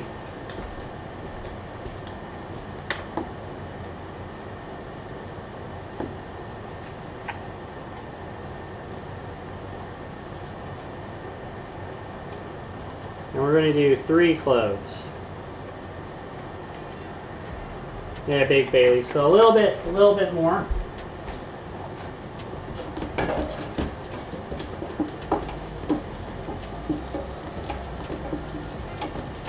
And we're looking for the onions on the saute. We're not looking for a caramelization. We're looking for just a saute, which is slightly translucent. 100% critical there. What I'm going to do here. So I'm shut, holding the bay leaf in with the cloves like so.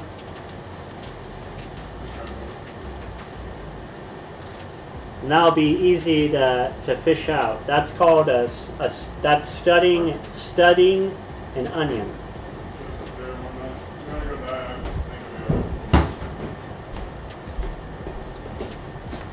Now we very quickly need to get some carrots cut.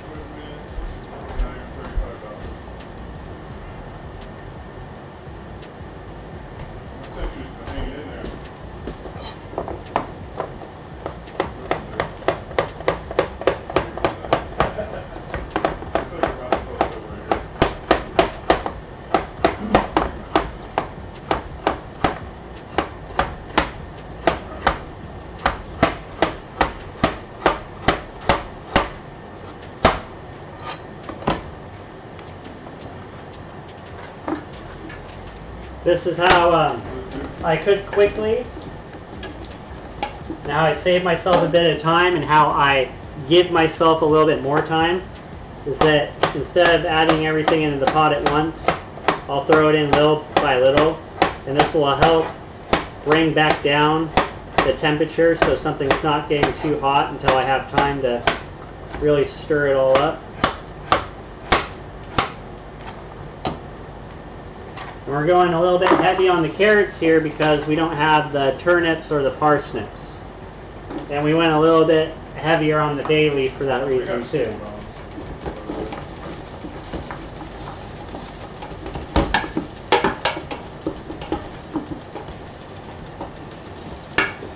And right now this would be, what I'm doing to the carrots would be considered a slice instead of a dice.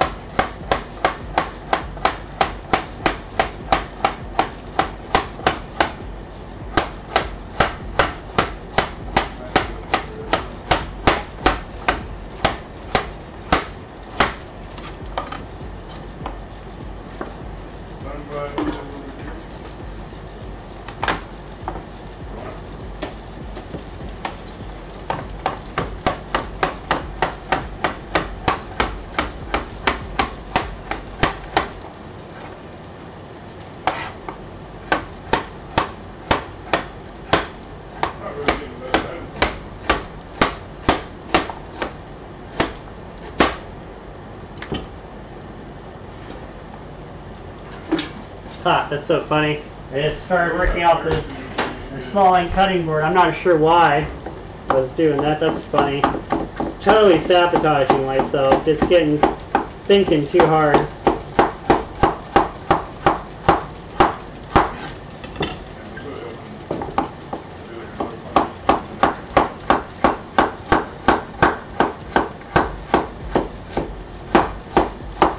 And I'm slicing instead of dicing, but I'm trying to do it in a pretty thin slice to compensate for that. And also make note how I have my thumb pulled back and I'm using my fingers as a guide. I'm not lifting my knife up higher than the fingers. Always keeping it underneath the fingers. And then slow down on your cuts when you need to. You're not here to impress anyone, you're here to eat. Move on to the next day. The things that I'm waiting to add are the celery and the lettuce. The carrots are the next thing, next thing that are probably going to take the longest to get tender. So they're the next thing that I'm adding.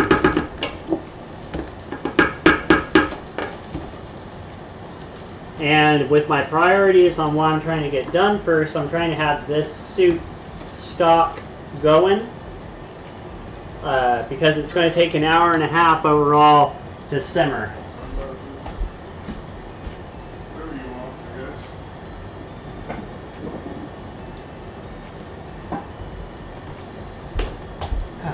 Quite a few carrots to, to still go through, but that's okay.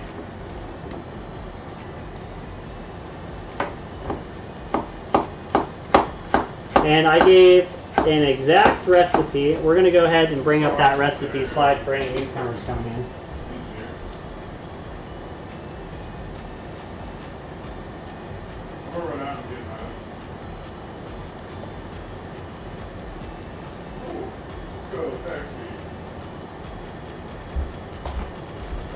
Cool. So this is an exact recipe that you can follow if you like. I'm doing a little bit of an improvisation just, uh, I call these uh, fridge raids, pantry raids. We're just getting rid of the stuff that is getting close to too far gone at near the beginning of the show in the sink, I kind of showed people how I separated out the good from the bad.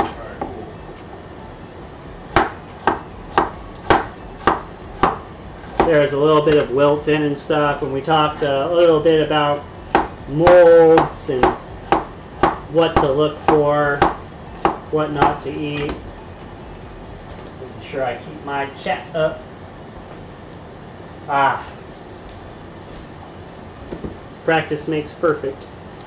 I'll get that get the hang of this stream in no time. I'll be able to talk to 300 people at once. Yeah, yeah.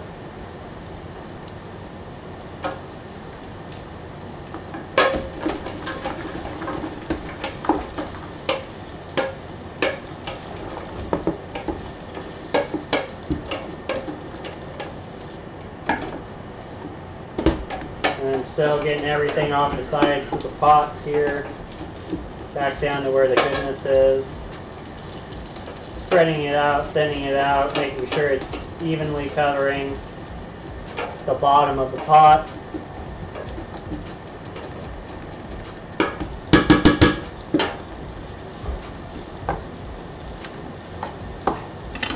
Hmm, smelling great so far.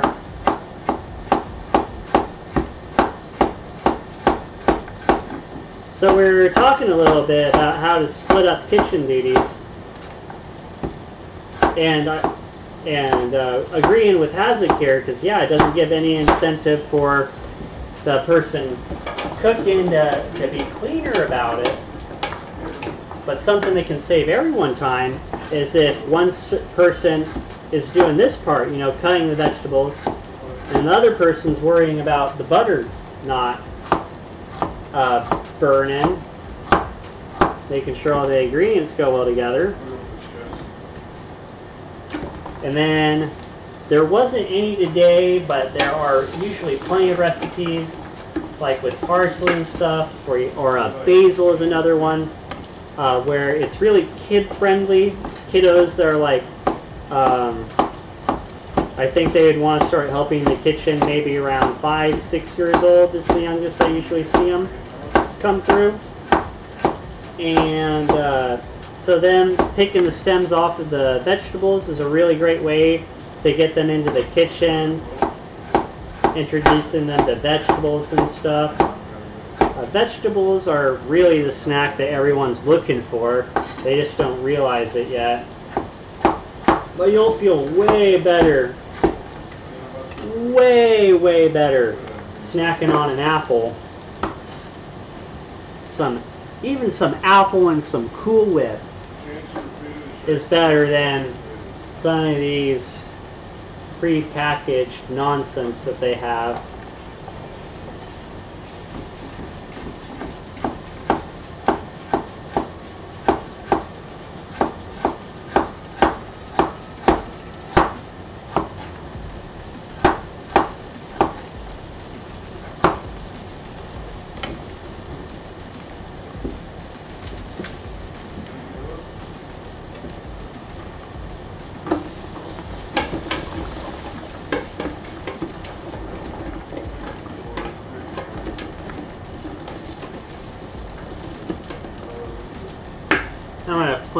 Over to the potato soup.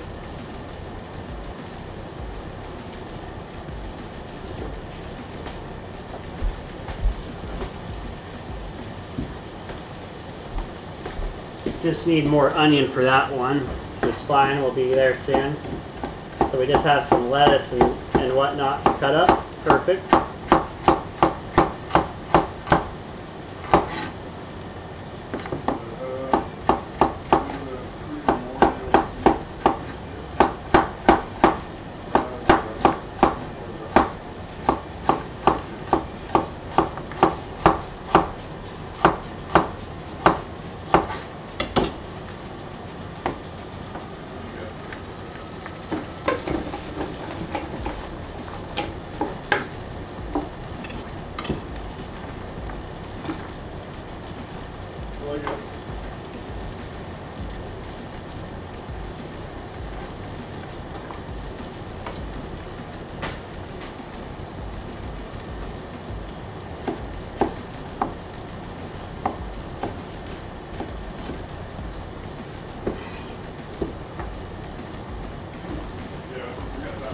Now we're ready to start adding that celery.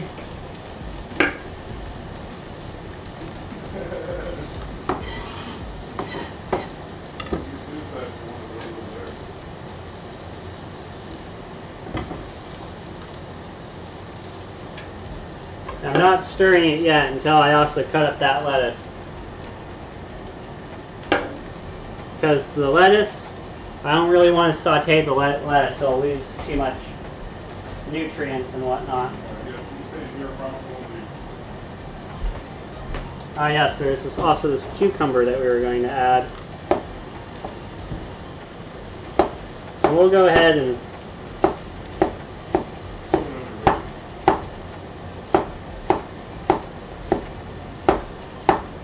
so I kind of like how they did the respawn. Or did they They just come back every round. And this is just one of those things I could cook the cucumber on the on the side, or just have it raw. This is just one of those things I'm going to add it to uh, my vegetable stock and see how it goes.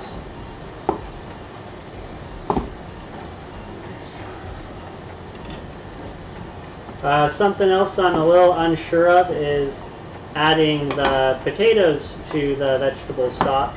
I have just a couple extra ones that aren't going to go into this recipe here. Yeah, I just need that one red item that So I figured I'd see I, that's a good spot for me too, yeah. how that turns out. That's a little experiment. Again, I gave you a um, what's streaming right now. This little slide is a tried and true recipe that you can use. It is from the Joy of Cooking. Currently the cookbook that I am referencing right now.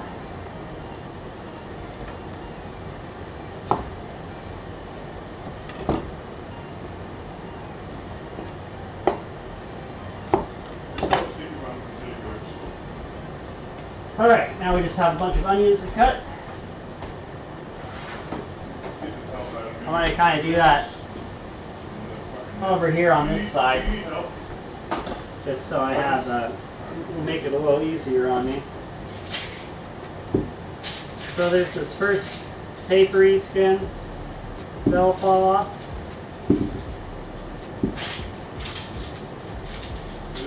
A- I usually take that harder one off.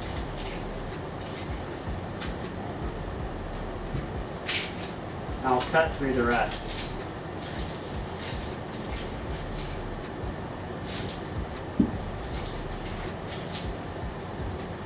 All I'm doing here is cutting in half.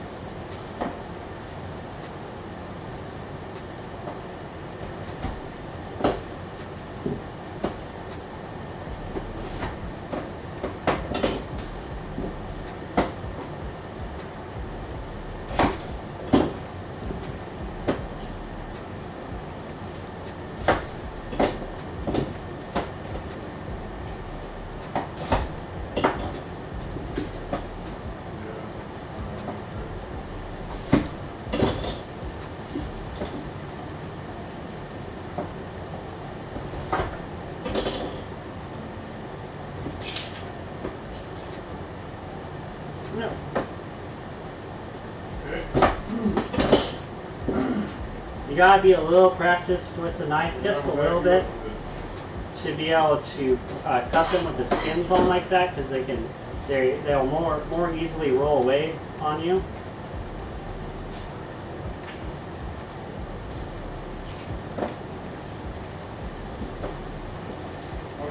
All right, I hear this sizzling.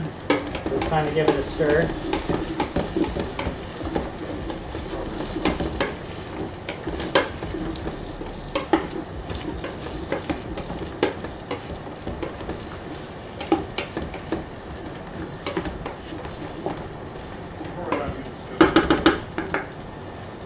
Okay.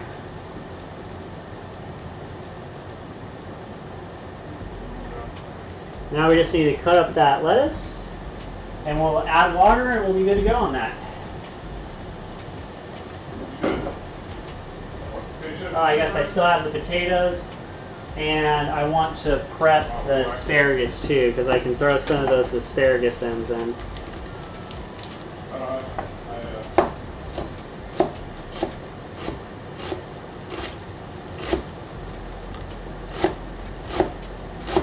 I think my character's good on mobility, and I just need to hit shit. Oh, this is not here.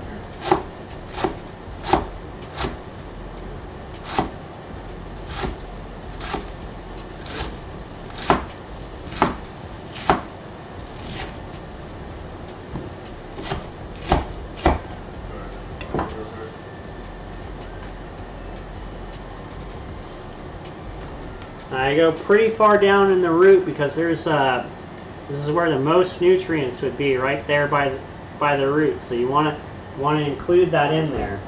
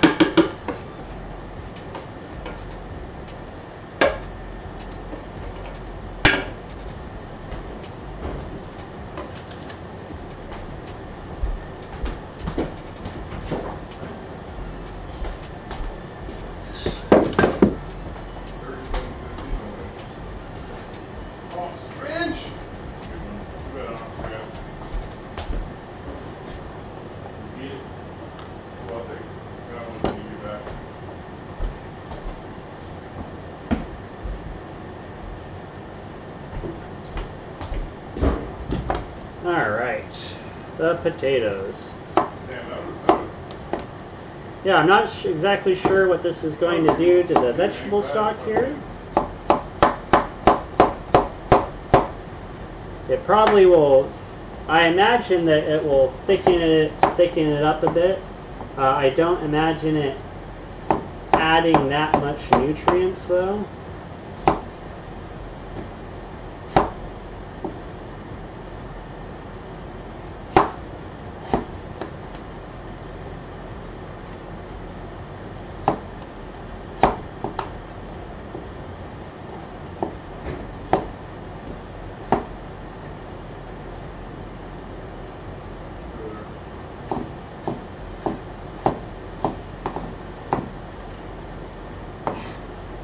We go get this item. Fucking Tanner. Coming. Oh shit, I'm in there. Going up there.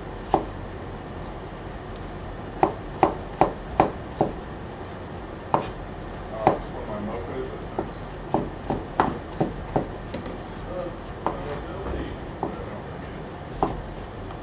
Uh, how many do I got now? Four? We need one more. All right. Just chop, chop, chopping away.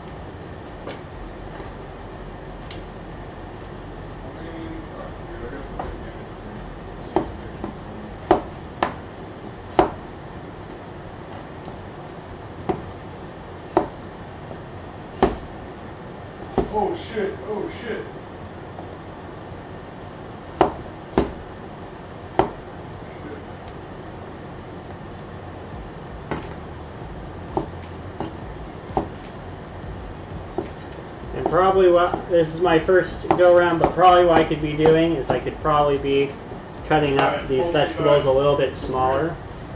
Come see, what we good? I got a couple lines I can put down. I don't have any centuries right now. Alright, I got one right here.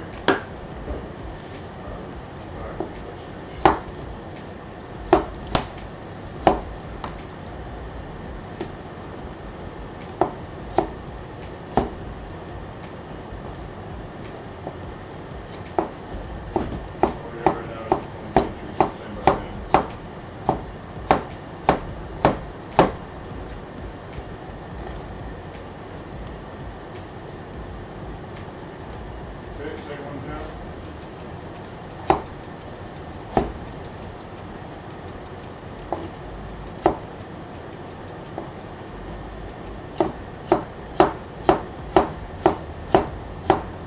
I kinda hate those rounds where they lose like all our health. It sucks. Oh no, I let the chat go. It blanked out. I'll be right there. I'll be right there.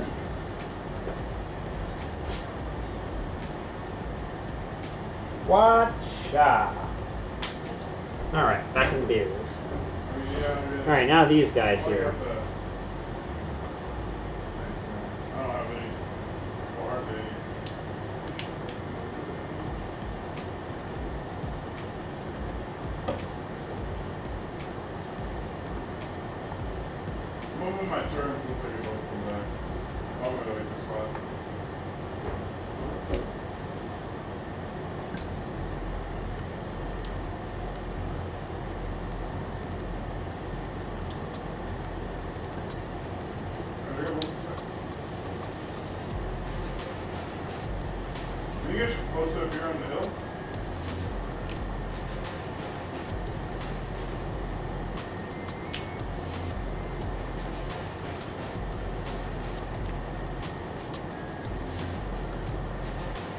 Kind of my my last inspection on everything, making sure I didn't miss anything. Because like I said, we're salvaging a lot of this food here, so we're making sure to get uh, uh, plenty of once overs and such.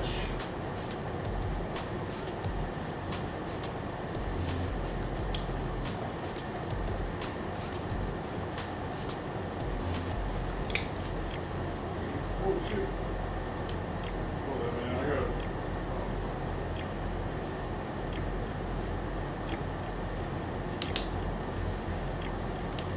Where you putting it? I see it.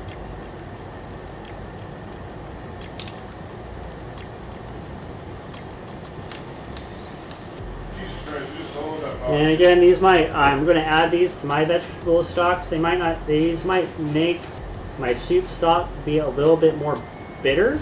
This is much more of an experiment for me. Like I said, what I have up on the camera right now is a tried and true recipe through the Joys of Cooking. And that one will not lead you astray. I am doing a live pantry raid. In this case, it is a fridge raid. And what had to go this time was a lot of the produce.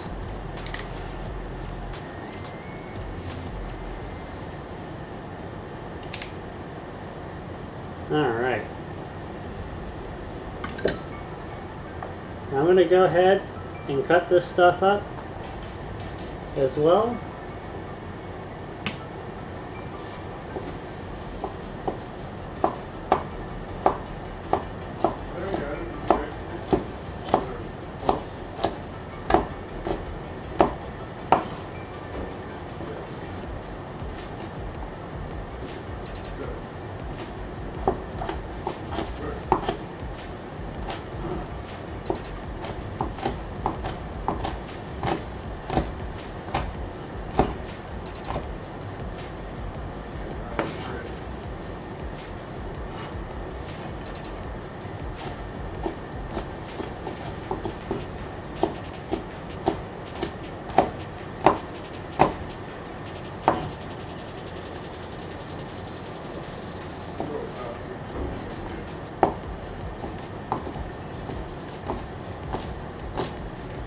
Still have this soup at a 2.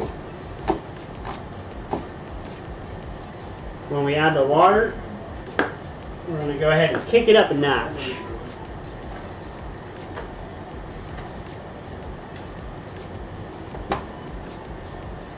Adding in as much leftover vegetables as we can.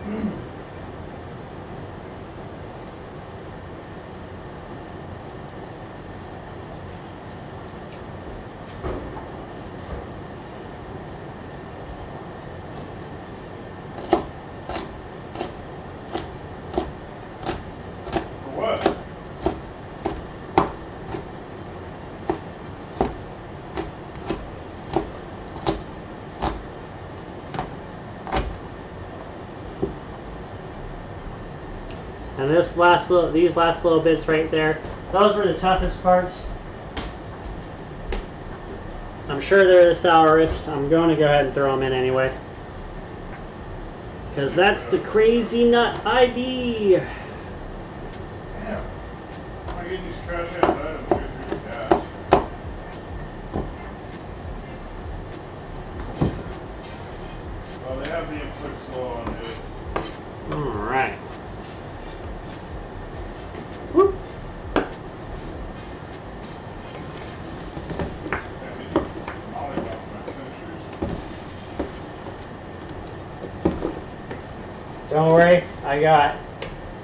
Got my eyes on chat.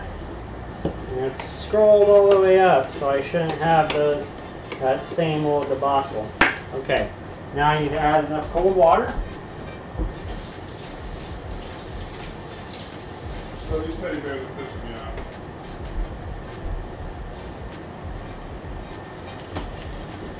You see that boy down up there? Yeah, bring it to a boil.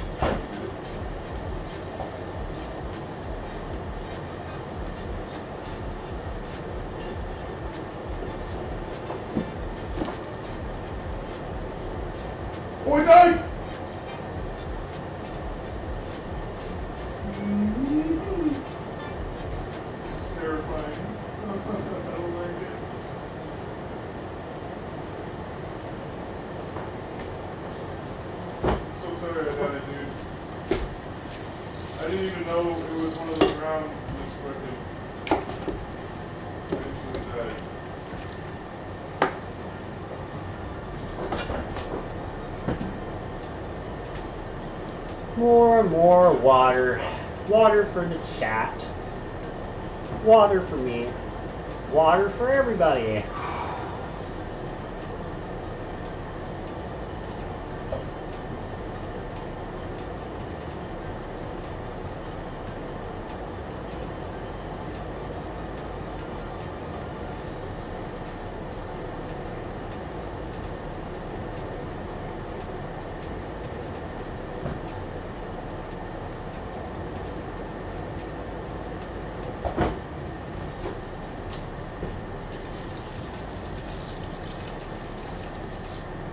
We need how much Just enough to cover. Thanks, man. Look, now we got a banner. Get it, buddy. Too far? All right, a little bit more water.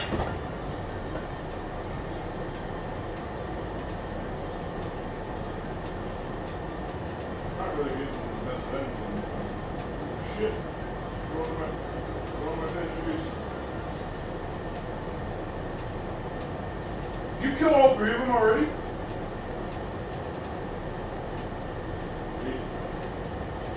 You're dangerously up here.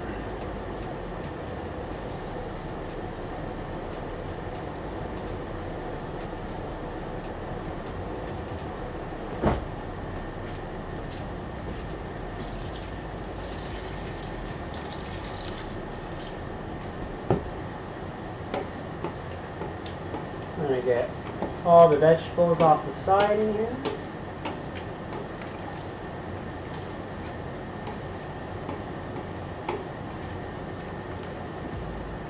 You're so weird. Just the littlest bit more water. Come over here. It's covered, but I want to give it just a little bit more room. Since it's uh, such a deep pot, I don't want it, uh, I don't want anything, I don't want this evaporating on me.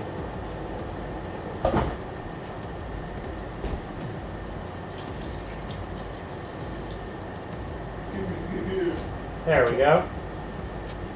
We won't forget our studded, studded onion added to that mix. Alright, and we bring that to a boil. Now I'm not going to turn, to bring this to a boil, I'm not going to turn it all the way up to an 8. I'm actually only going to have it at a 6.5. Okay, I'm going to grab a plate.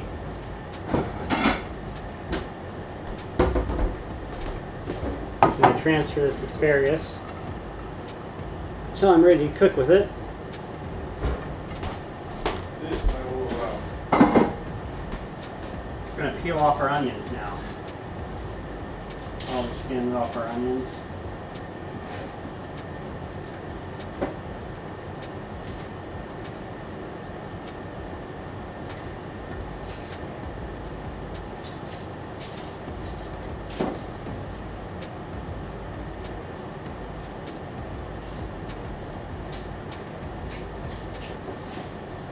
And you can see how I can really be saving a whole lot of time if there were two people breaking up these tasks. One manning the kitchen stove, the other one managing the food prep. I see that as a really good split in the work.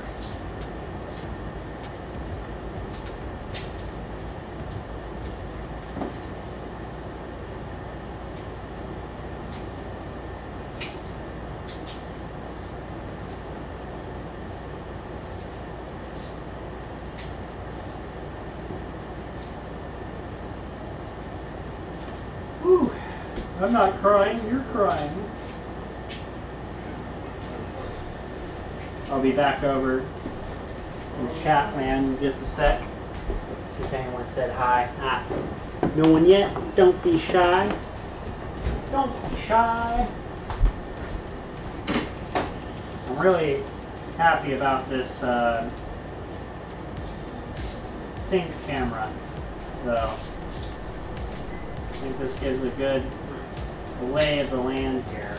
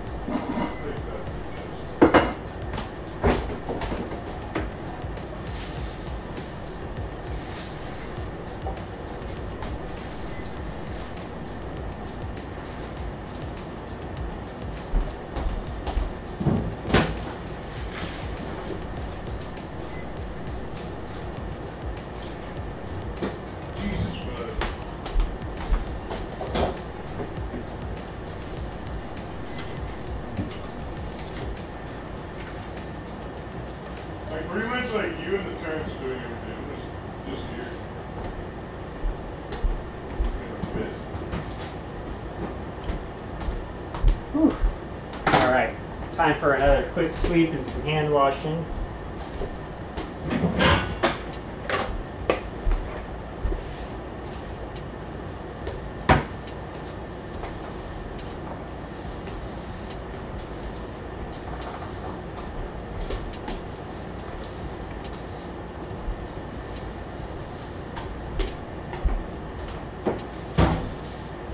For those that aren't quite sold yet about the cleaning as you go bit, is that that's really what's going to make you look like you know what you're doing in the kitchen. You're not exactly going to uh, inspire confidence if the sink is full and there's burnt dishes somewhere or just, you know, caked on macaroni and cheese is more what I'm thinking about. about or there's just a mess everywhere,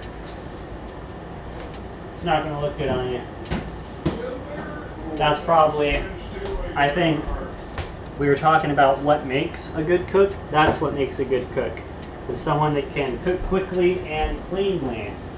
Because really, anyone can cook making a huge mess. It's not that hard to do. I don't know if I'd call that cooking though. Ah.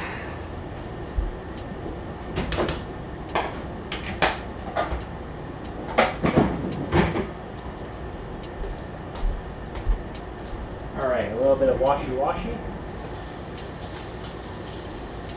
There we're What's going missing an on? opportunity to wash our hands.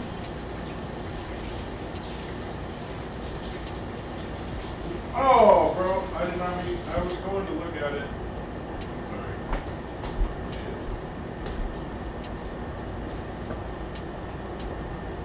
Oh, All I right, got we'll get these guys right. up.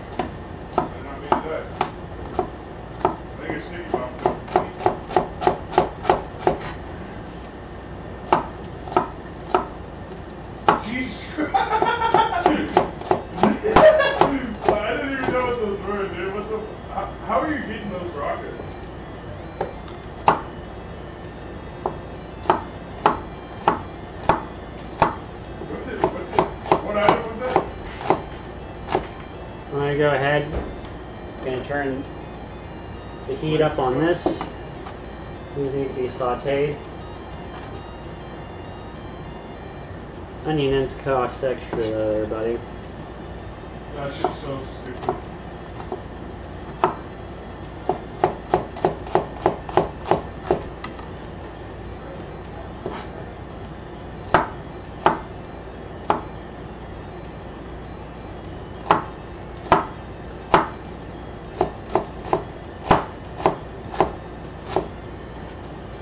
Oh, nope, I let the chat die again. My bad. Did your character My bad. Sick. Was it wistful? No. Okay. There's people enjoying the stream. Good, good, good, good, good.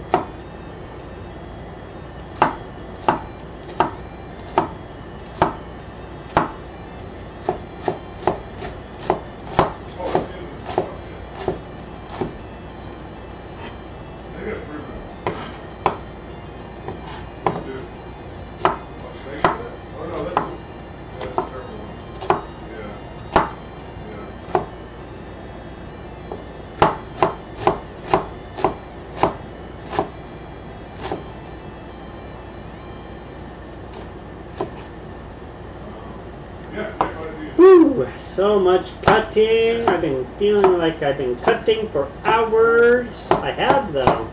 Lots of prep gone into this one. Cutting up all these vegetables. But you know what? That's only going to motivate me to make sure that I get this stuff included in other meals so I don't have to prep this much.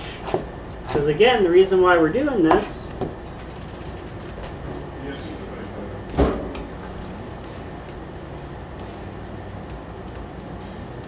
is to reduce our food waste. Alright, dude, as we made it so far. And also make some delicious food. Oh, dude, don't you have a corrupted something like that?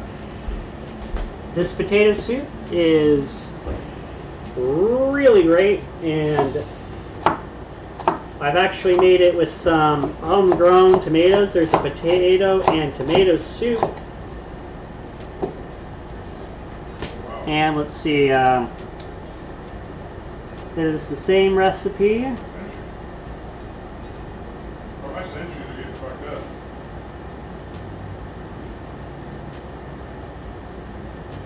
They require it's the same recipe as this, except it has five cups of seeded sliced tomatoes, or three cups canned tomatoes, two teaspoons of sugar, a teaspoon of salt, and a teaspoon of paprika, and a pinch of Ooh. Ingredient that I don't know. Sherry, sherry? It says Chervil, but I only remember it as Sherry. Chervil? Hmm.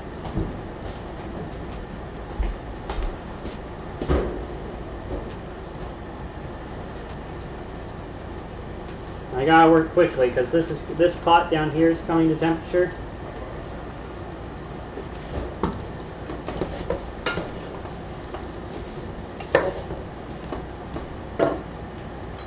Just a little bit of oil to this because I didn't have butter in the bottom of it.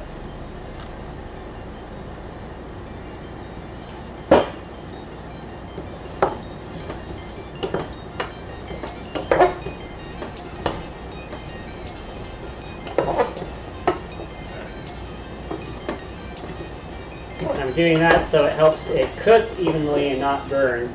I'm just bringing this to temp. I'm about to switch up. I'm about to switch up all the burners here. You'll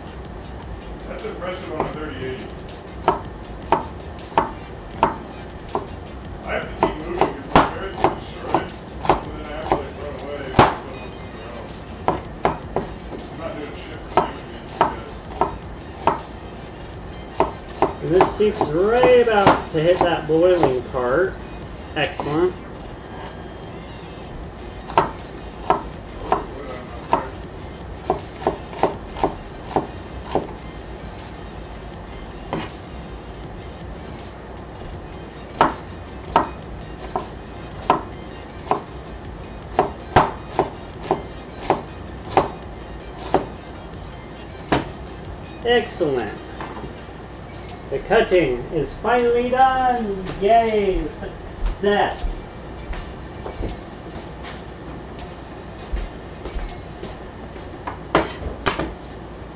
And your character's pretty dumb.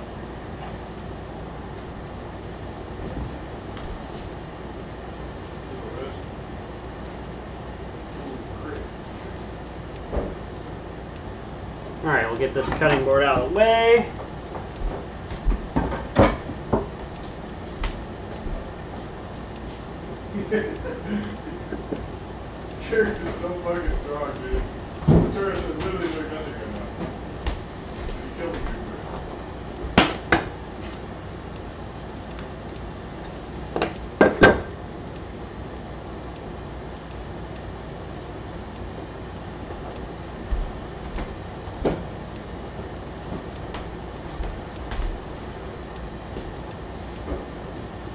Okay.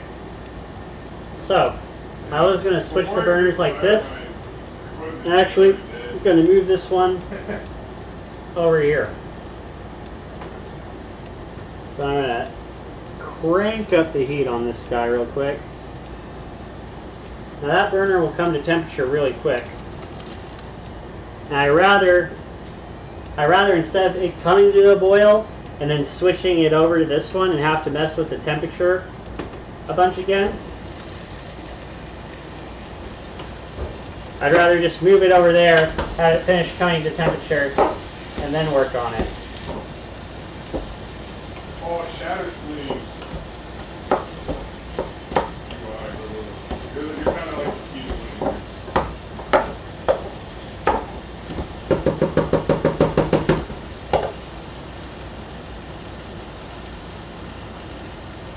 I mean, it would be better if it was a lot more Alright, let's take a look at our potato soup real quick.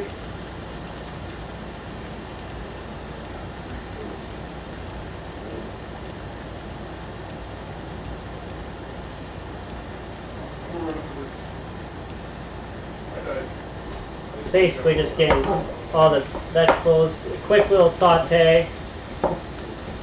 You're going to need to work on a little bit higher temperature, like a 4, when your pot, if you can see the pot is this full.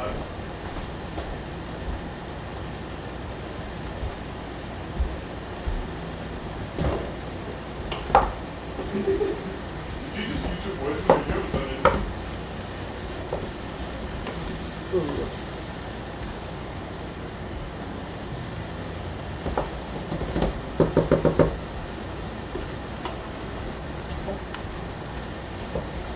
And I would say So much else to do. officially what this is is this is more of a um, a sweat.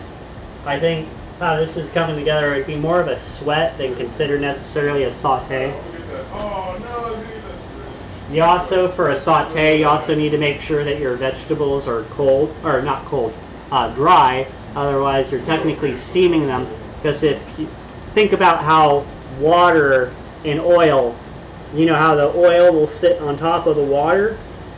It's the same thing. So when you have the oil and the water, they're going to be in two different places.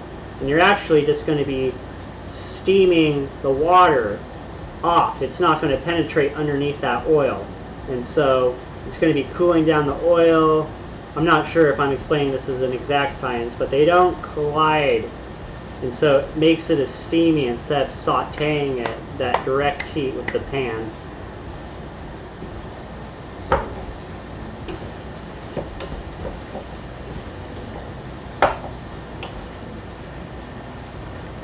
Well, you put it right in.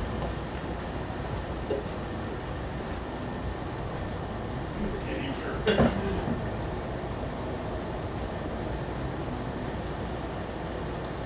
And I see the steam starting to rise, so I'm going to go back over to my vegetable stock.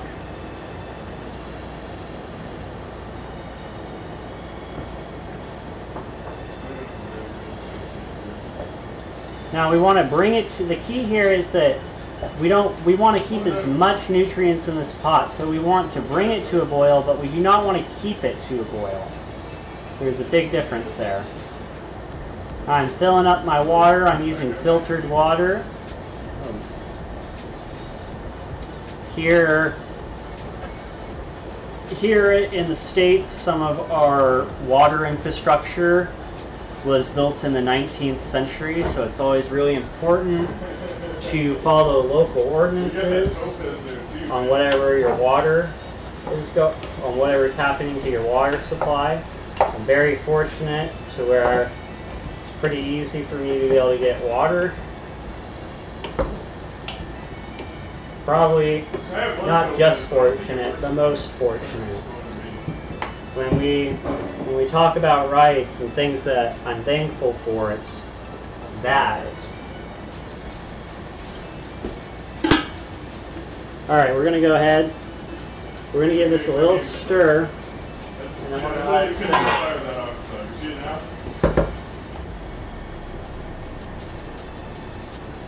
So I already turned the heat back down, stirring it, This is way 50, by the way. stirring it.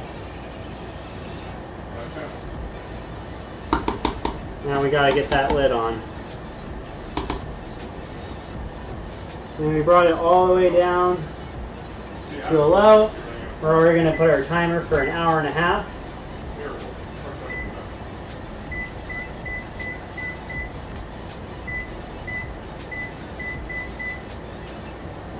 Yeah, let's keep going, dude. And I'm gonna go ahead and bring my oven up to 350 degrees. I think that's just the accomplishment. Just get it moving.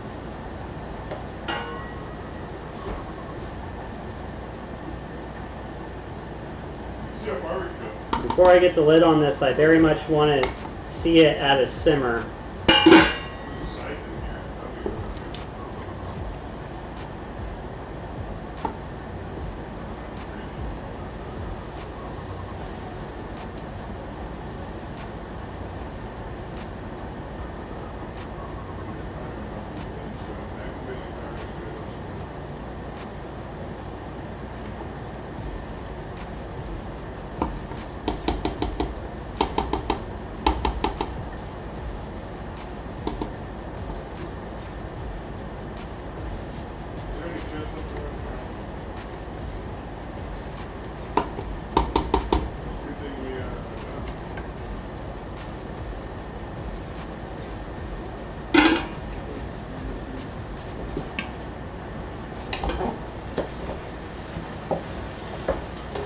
I've been thinking I've been what's been on my mind.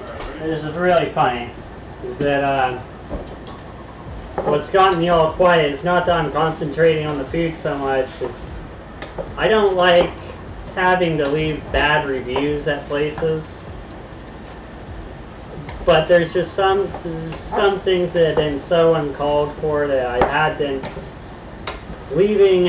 I, I it's only two. It's only two negative Google reviews, but I just feel so weird about it. I don't like doing stuff like that. I feel dumb afterwards because I feel like it didn't really need to be said.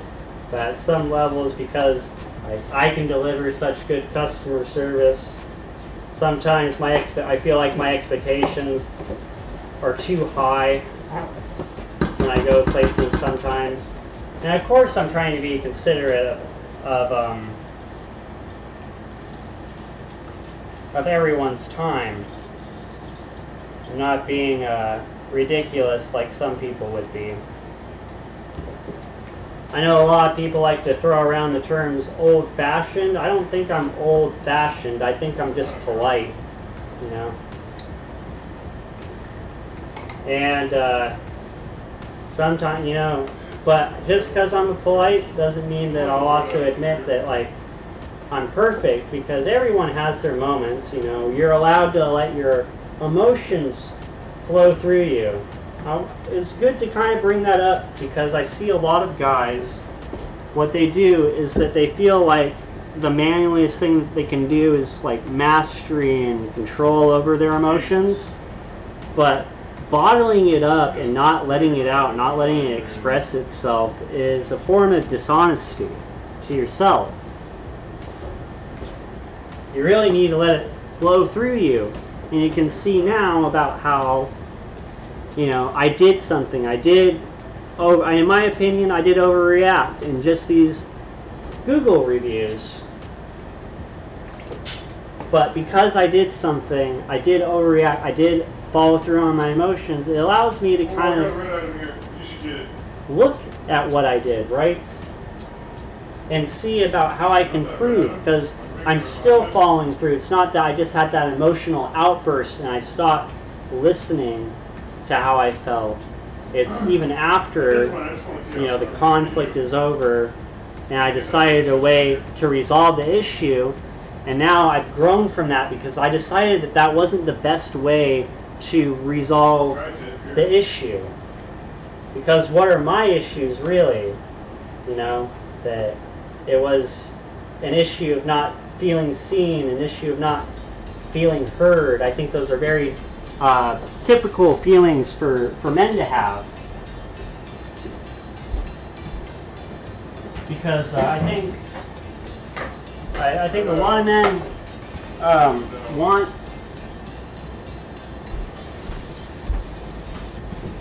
I I don't know where I exactly where I was going with that. I think what I was going to say is a lot of men want the attention of women, but they do things that will get the attention of men instead.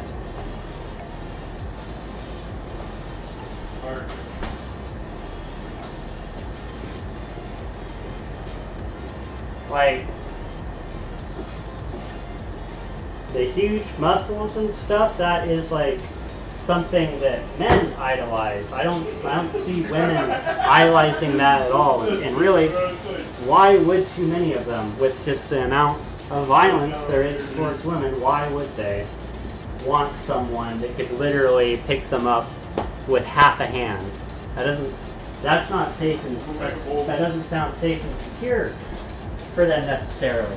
But for a guy, guy going around with his buddies, a guy sees that. That's probably the most secure he can feel, knowing that another guy has his back. But the guys don't do it for each other necessarily, you know?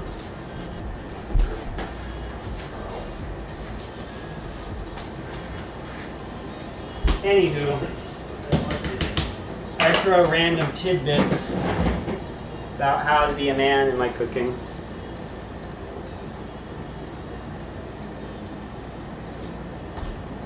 Because, again, it wasn't something that I really wanted to, like, be known for or anything like that, but the more I saw men talking, the more I realized that they just have it wrong.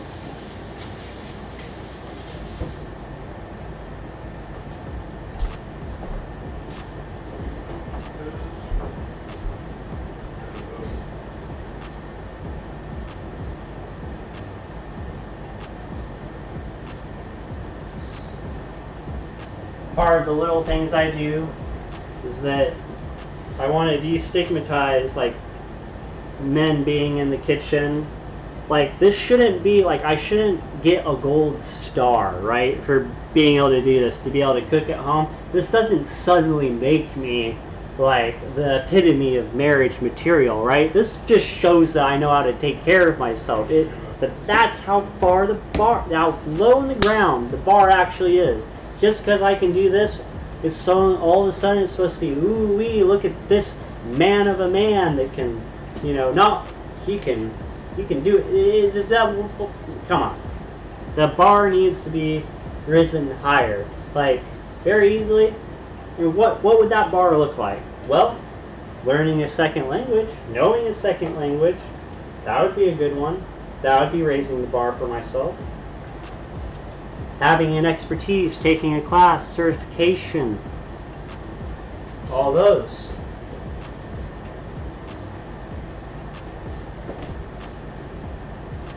We still have that timer going. We're going to get those cookies going. Let's see where we are with the potato soup.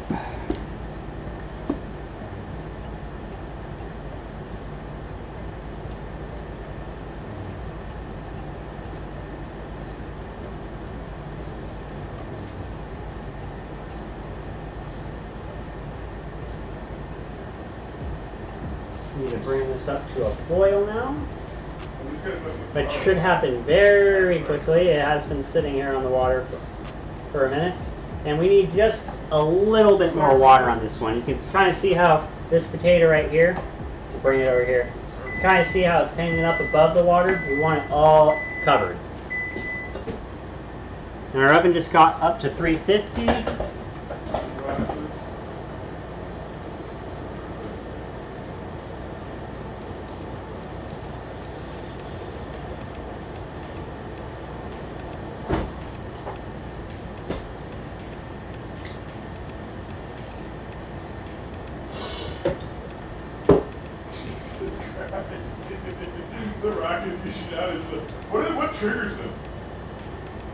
Know I I went and I talk about dating a little bit, and maybe some people are like, "What's this cook doing talking about dating?" I'm like, "What's What, are what are your reasons for picking up to cook? Right? You're trying to improve yourself. Is it really just for yourself? Wouldn't it be nice to also be able to impress the lady with your cooking skills? Yes, it would.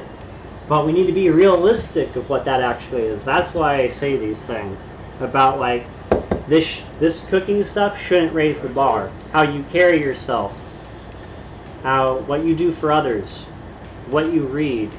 These are what raise the bar.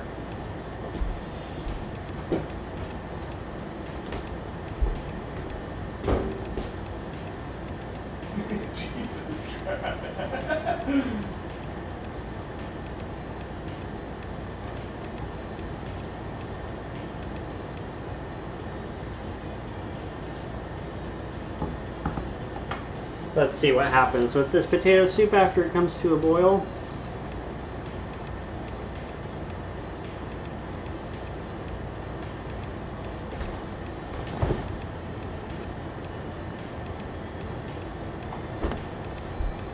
You know, I really don't want to, uh, I was just going to do those cookies and substitute the butter and oil, but,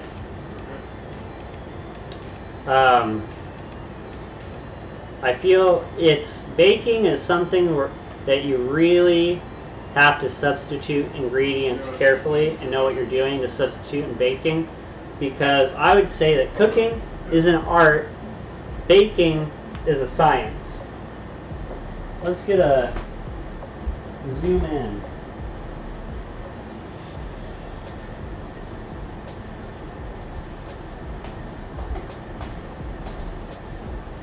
There we go. Let's see. So.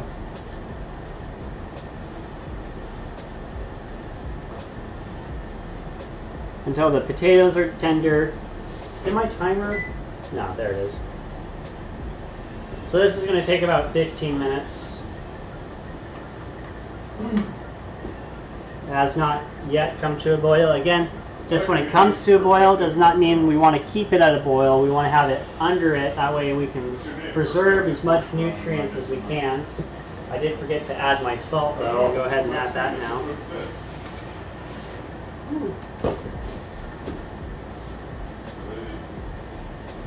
What I'm not going to do is I'm not going to add salt to this yet. We're going to wait to do that.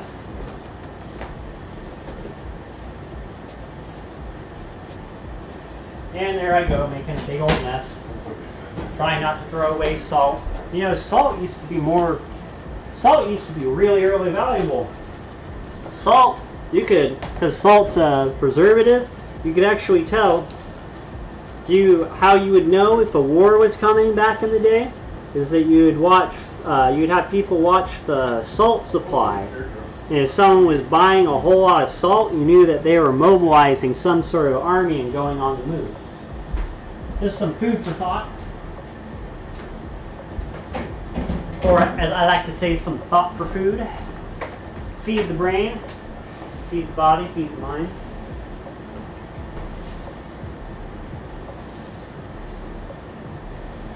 Kind of one of the secondary themes to this show.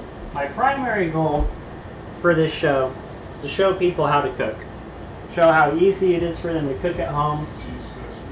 Help them save a bunch of money. Because it's really, it's really not that hard. I know a lot of people are intimidated by cooking, and I think the community, the cooking community, doesn't help this case. There's people that will still call me an amateur just because I don't know the same things that they know. But I'm very confident in the fact that if I went into a head-to-head competition, that I turned the judges' heads just as much as they would. Yeah, my game is. I thought I would quiet down for a second. You see, constantly going back and washing my hands again and again. Well, you know where to go if you need help.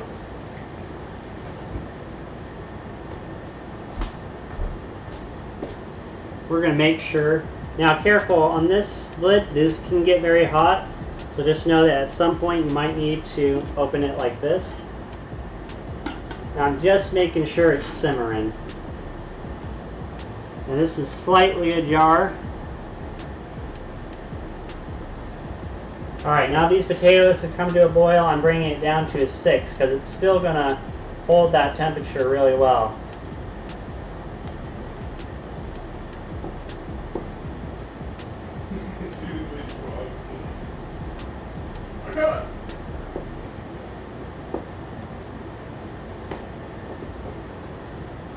Now, I try to be very good about not being appliance heavy.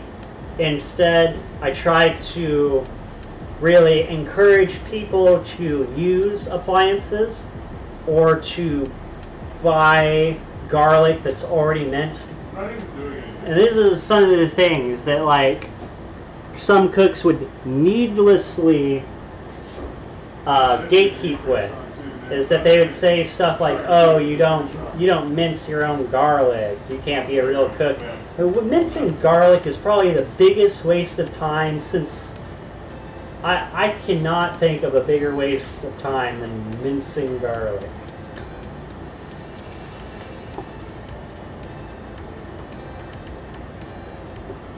I rather mill corn by hand, you know. Than do that. This tomato soup is smelling great. It's still boiling, so I can really knock the temperature. It's I tried bringing it down to a five, but now it's all the way down to a three.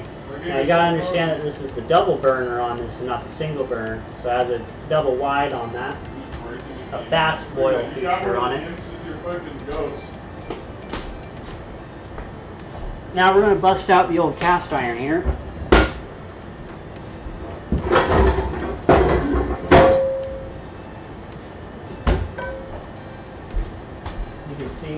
A nice and clean cast iron.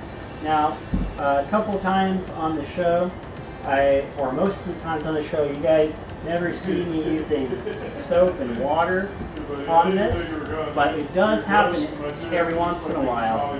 It's, uh, I guess it's a little bit of a cooking experience that I really can cook cleanly, not burning a hole on this.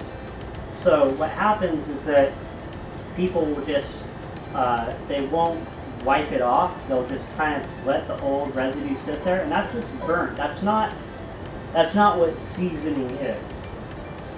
Seasoning, the pan being seasoned is more like this fat uh, is gets so hot that it kind of makes a plastic and makes the surface smooth. And that's what the seasoning is for this. And um, there used to be something in soap that I can't remember the name, and it would break down the seasoning. But they don't have that in soap anymore, so it's okay to use a little bit of dish soap to give this a little bit of a clean when it needs it. Just make sure to hand, just make sure to dry it off right away.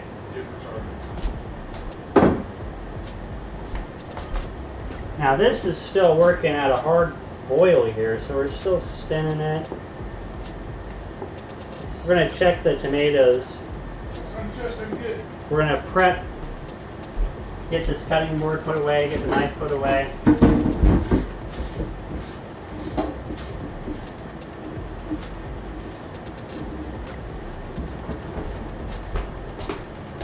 We'll get our what should we call it? Asparagus into the oven. The asparagus is going in the oven last because it's going to cook the quickest out of everything. Uh, the book I was just reading is that there was an old Roman saying that said, "Get it to me as quick as you can. I, I need it quicker than you can cook asparagus."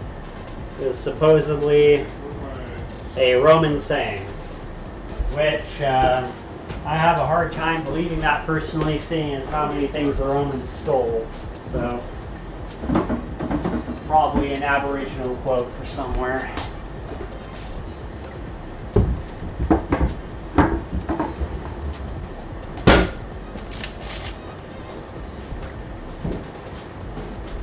My goodness, my goodness, this is still been running pretty hot.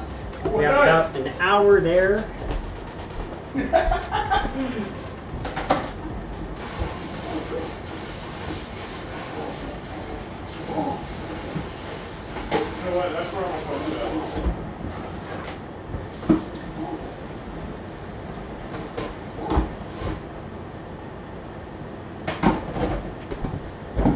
Oh, I missed, missed an onion.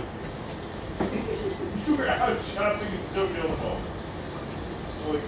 back This gas is both those things. I was trying to give my. Oh my goodness, that just won't stop boiling. Goodness.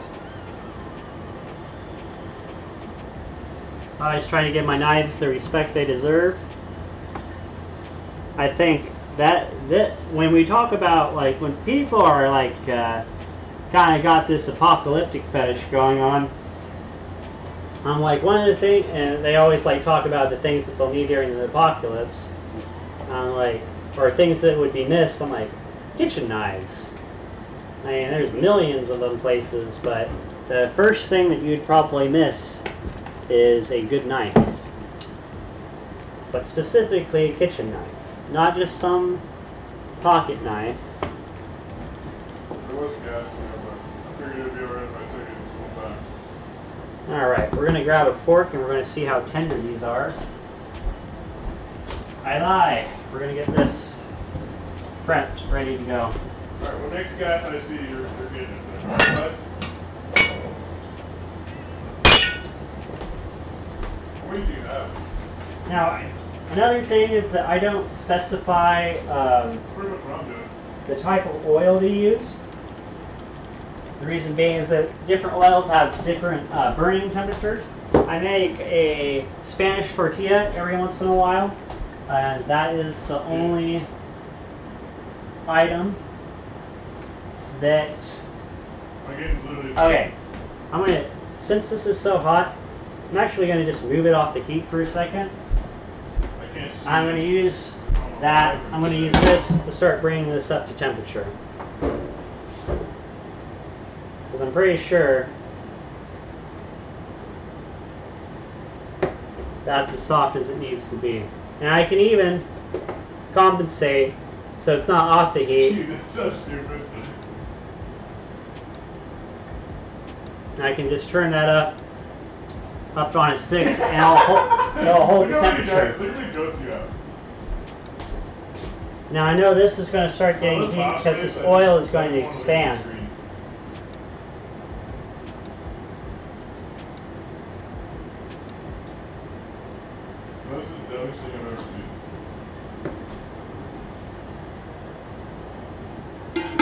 Perfect on a simmer there. So yes, we are going to probably hold off on the cookies. However, I do like to bring uh, I'm just short on eggs today. I don't really want to improvise this because the reason why I have these boxes is because I want it to be foolproof. Especially cooking and baking are two different things. So I'm still a novice Can't die dinner. when it comes to baking. Too essential. Yeah. Still a novice when it comes to baking, but that's why I'm not adding extra steps for myself right now. So instead of having a complete failure, you'll see me do it on my biscuits. My biscuits has been the hardest thing for me to make. But now I know how to do those right, so I'm sure I'm going to nail it next time. I almost did biscuits today.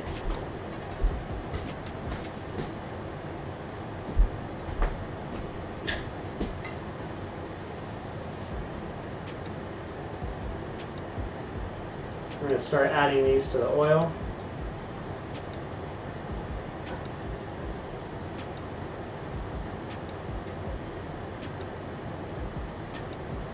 And don't worry about them stacking over. What I'm doing is on the second stack over, I flip them to the other side. That way, the heads on each side have an opportunity to kind of flatten them out. Try to get as, as most in there as possible. And the reason why I don't mind this being a little thick like this is because these are going to cook really quickly. You can see that that already came to a boil. I'm going to totally just take this off the heat now at this point. And I might have interrupted myself You just have the boss as one of your guys. earlier. Now I don't know what I was. Uh, yep, lost that train of thought again. That's not good. That's not good.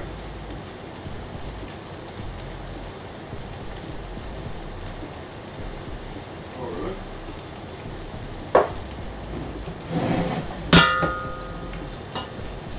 so I just Okay. switched the pan over just to help it heat up evenly. Whew. Oh no, I, I let the chat die again. Oh my goodness.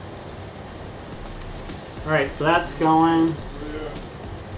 Alright, back to the end of this potato soup.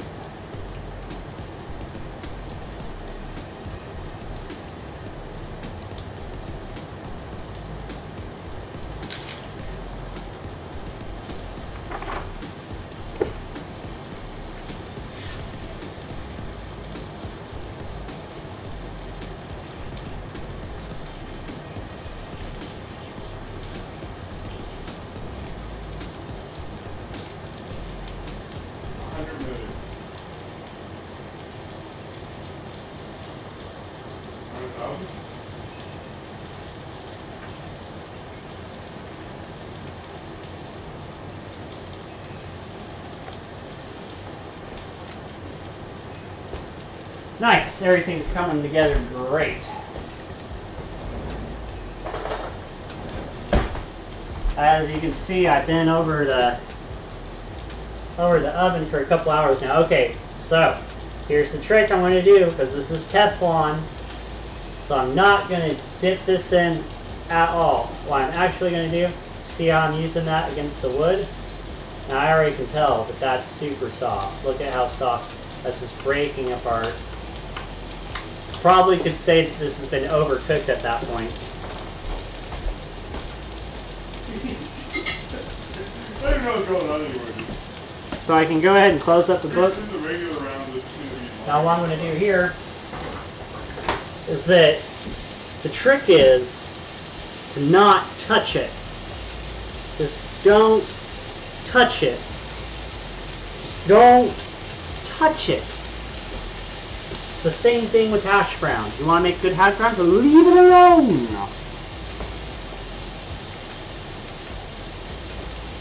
This is off the heat now. We're going to go ahead and immersion blend this. Now, I was thinking about it. If I ever did, I'm always interested in making as um, an interactive stream for folks. So one of the things I might do Not as bad as the last time. is include a cook that without the appliance. But usually I'll go ahead and cook it with this appliance. And I'll show you what appliance I'm going to use.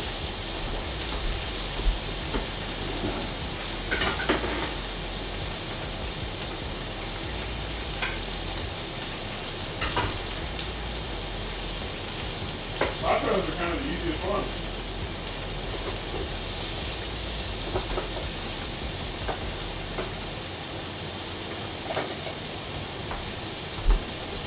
So this an immersion blender. We're going to use it on this soup.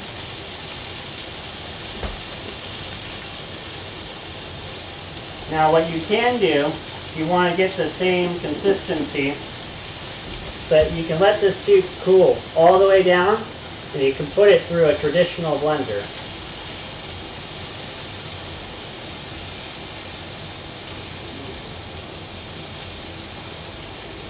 I must be getting more comfortable with this thing because for the longest time I I never installed a tip here while it's still plugged in.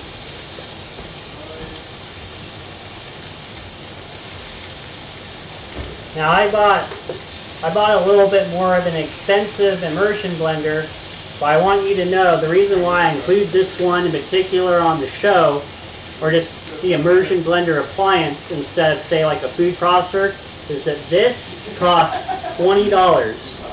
And this is way more helpful than you may think.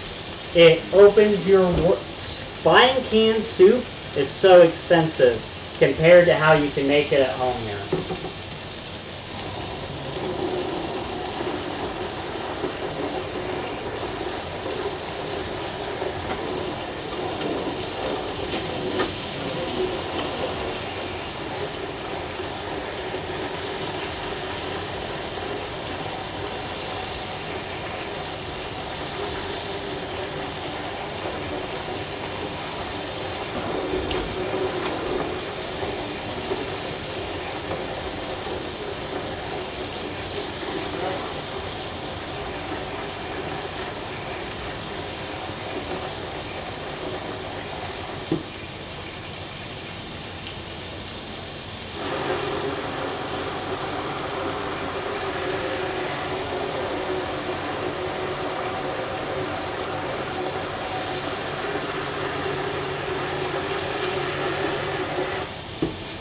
Something else that I'm doing, we are just talking about metal on the non-scratch pan. And I have tried, and even though there's a little bevel, even though it looks like it's not going to scratch up the bottom of the pan, I've still had that happen. I'm not sure how it happened, but it did. So I recommend instead of going all the way down on this, to make sure that you're not hitting the bottom.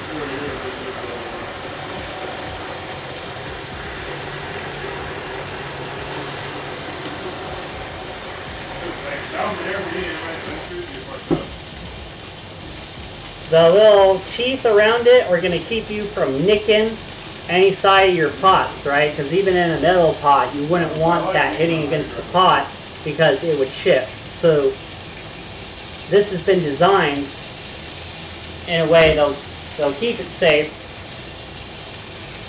I'm just letting you know through the practice, I have still managed to nick up somehow.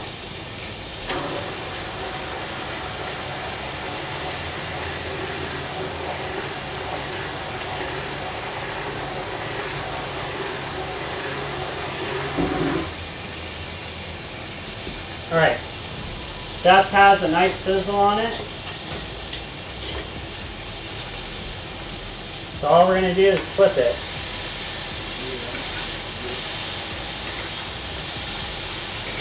You know, man, I'm just I'm just. You get off the end of?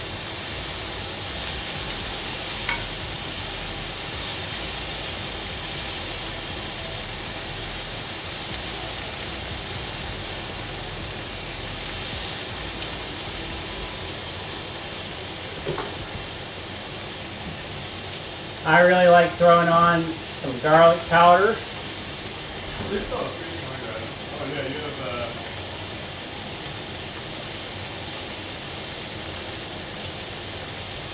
I'm being a little heavy on it just because the stuff's a little bit older, so it loses its flavor. A little bit more salt.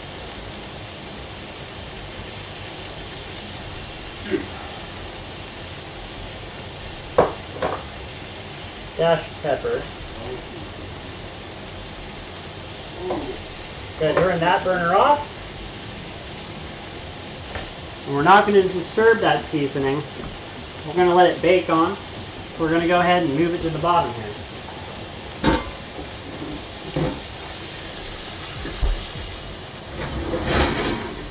So after this, go to the big box waves. Unless there's an item you think that'll just be really good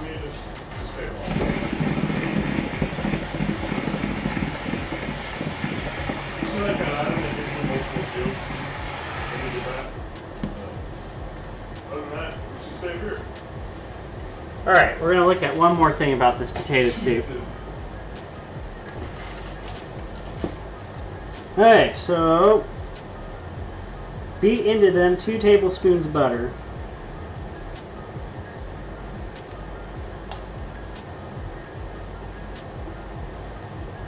Oh my goodness.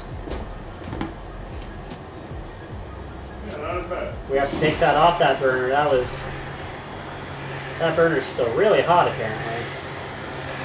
Which I'm surprised for it just being at a two, that cast iron really cooked it nice for it being at a two. I've Alright. never seen someone with so many items. There's so many items.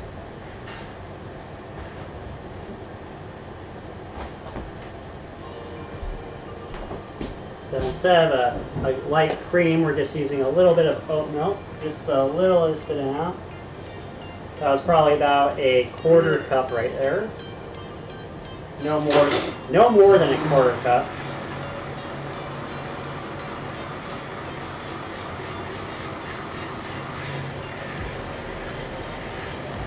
That really helped loosen it back up a bit.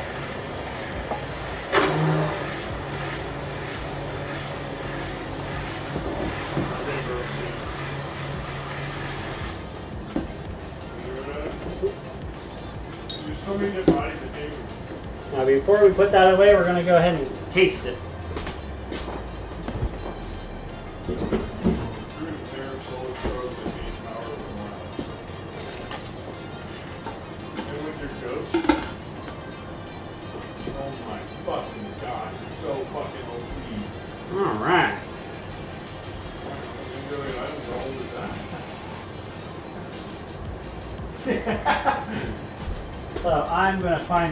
Dish here.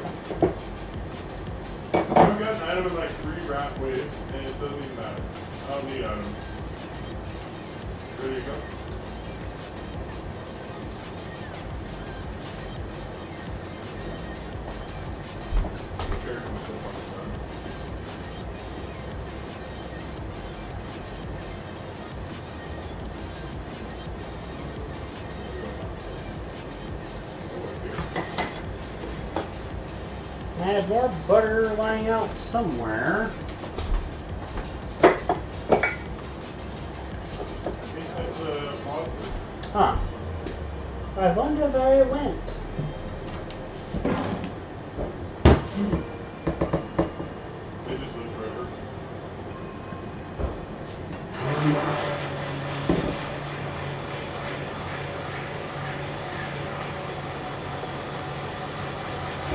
Beating in that butter right now.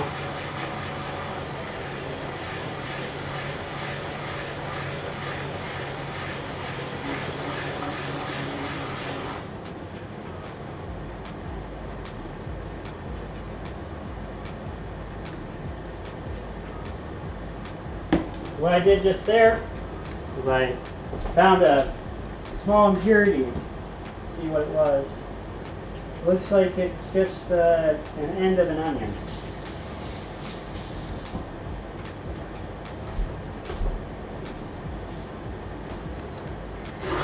Which means I have room for improvement.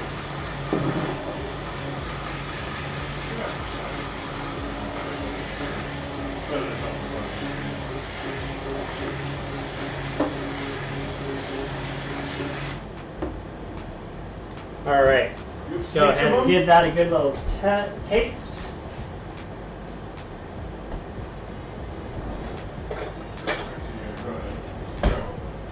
You can see we've been cooking for hours now at this point. Hardly a mess to take care of. In fact, as I'm, I still have another 50 minutes to get the whole kitchen cleaned up. You know what I'm saying? Oh my god! He knows what I'm saying. Bro, you're gonna break this game. Whew. That one was a little bit hot. I think I am gonna add that paprika. Go ahead, do your thing.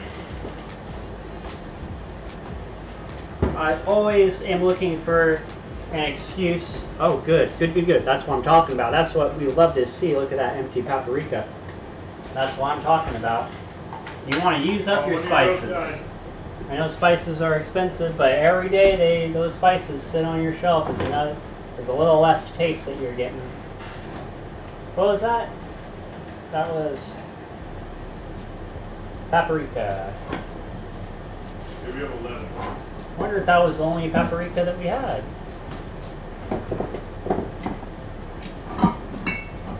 Yeah. Everywhere you walk, it's just nothing. Pepper, everything, garlic, cayenne, Literally nothing.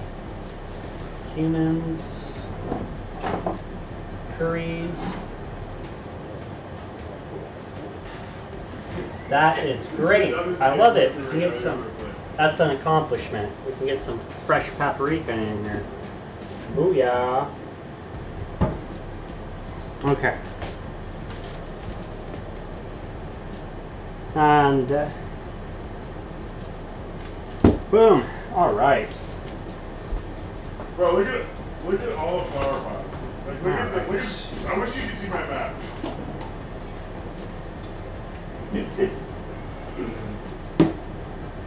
We'll actually do one This is another one final stir before we put all this away.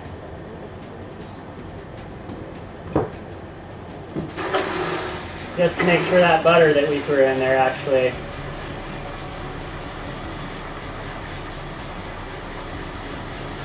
On what?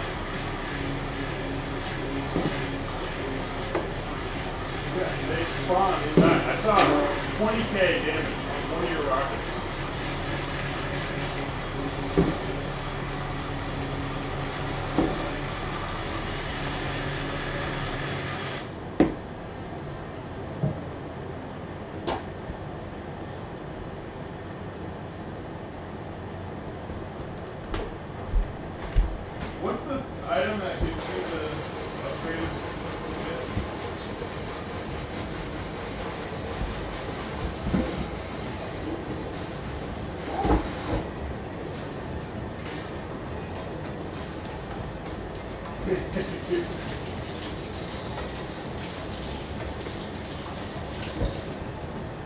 matter what,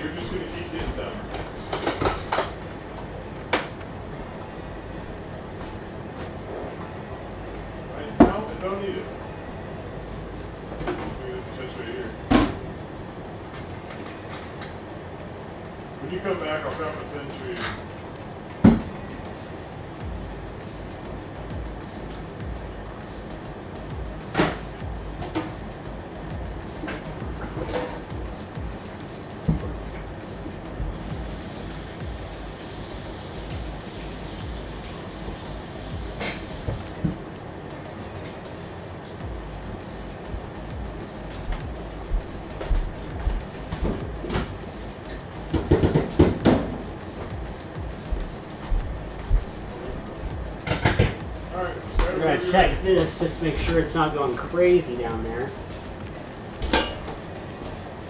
Looking pretty good. Probably another five more minutes on that asparagus. I saw some of the heads got nice and brown. Um, if you steam asparagus, they're actually asparagus fuller, so they'll go down the root down first. And it's actually that the heads are so delicate that um, the steam coming up from the double boiler when they're in bunches like this with the heads up here, the steam itself coming off of it will actually cook the tops of the heads. So the browns down there, the heads are browning up, but I'm waiting for more for the other end, the stem, to uh, that that has the the at the end of the stalk, the opposite end of the head. It, it can be very chewy if it's not broken down all the way. That's why I really like finishing it off in the oven. If I haven't mentioned, I put that in the oven for 350 degrees. They've been in the oven for about 15 minutes now. we have a soup, a potato soup that's all knocked out at this point. And we're just tidying up now.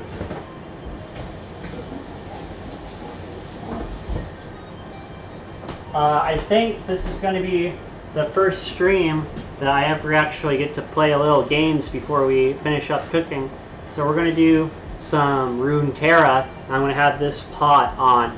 I'll let people know what we're doing, but we're going to um, we're going to switch the um, the category from food to drink, and we're going to switch it you know what? We're gonna leave it on. I'm not sure whether or not to switch it to Runeterra or to leave it on food and drink. I kind of like the idea of switching it to Runeterra because that will show down in what I've streamed recently. It'll also show that I've streamed Runeterra. And I looked. I was. Um, I've been a little skeptical about uh, playing video games on the same account. Uh, but in my suggestion box, which you can view on mobile or through the app, I've actually had a lot of positive responses where people agree that on the weekends should be a little bit more chill, laid back, playing some video games. We still have another 45 minutes, and I want to finish making this stock with you. I don't want to do anything off camera. So we're going to be going the distance. I'm gonna get them. I have hundred and sixty-seven thousand dollars. So I'll be able to enjoy some of this food, get the headset on, and we'll play some Runeterra, a little card game. Pretty easy to follow. It's a fun game to watch too because you can, even if you don't know nothing about the game, you can just look at all the card features and stuff.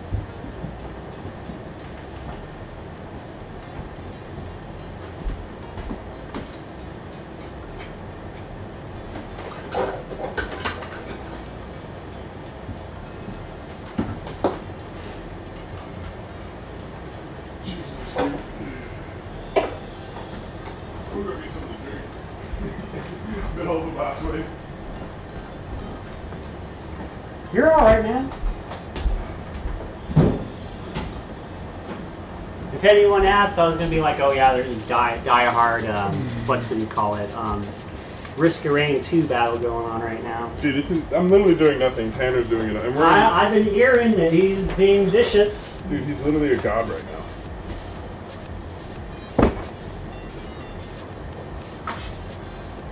I got some potato soup made up, and I I'll, oh, you're you're gonna like this part. Dude, it smells so good.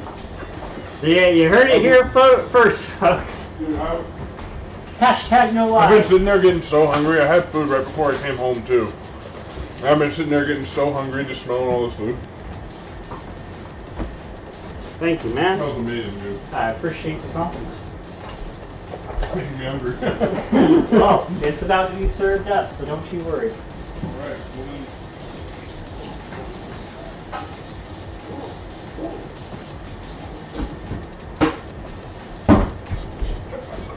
Oh no!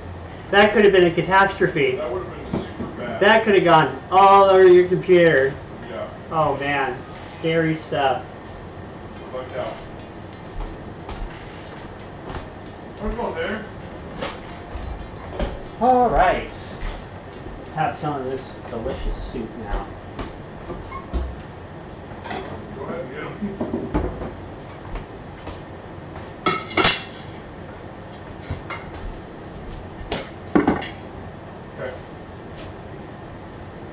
Oh yeah, where am I going to put the asparagus though?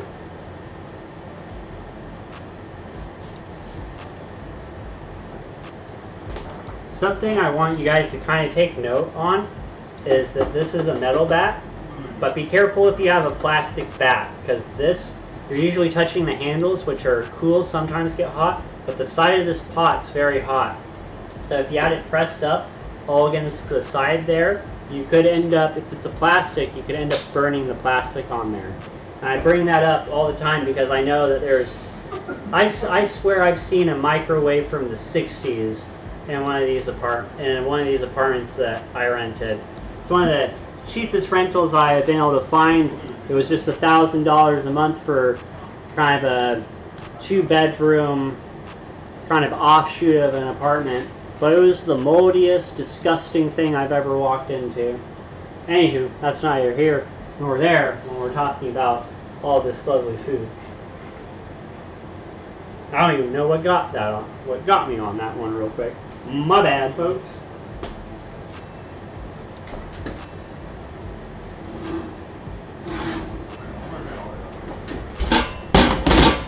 Ah, yes, the appliances. Yes, I was saying that I swear I've seen a microwave from the 60s still in service. It's the first microwave I ever saw that had a power level 1 through 10 on it.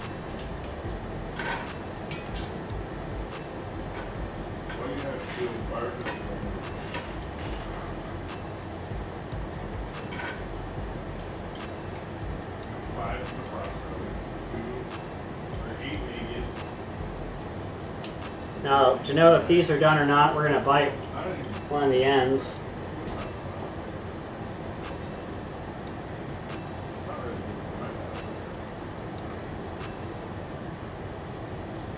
We're going to give it like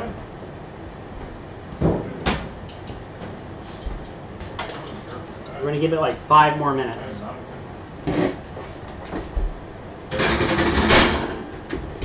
in the oven there.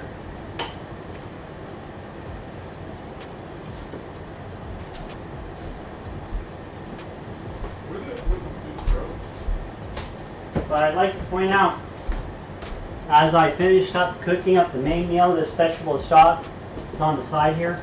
We finished cooking up the main meal. Sink is empty. Nothing for the partner to do, but to enjoy the food.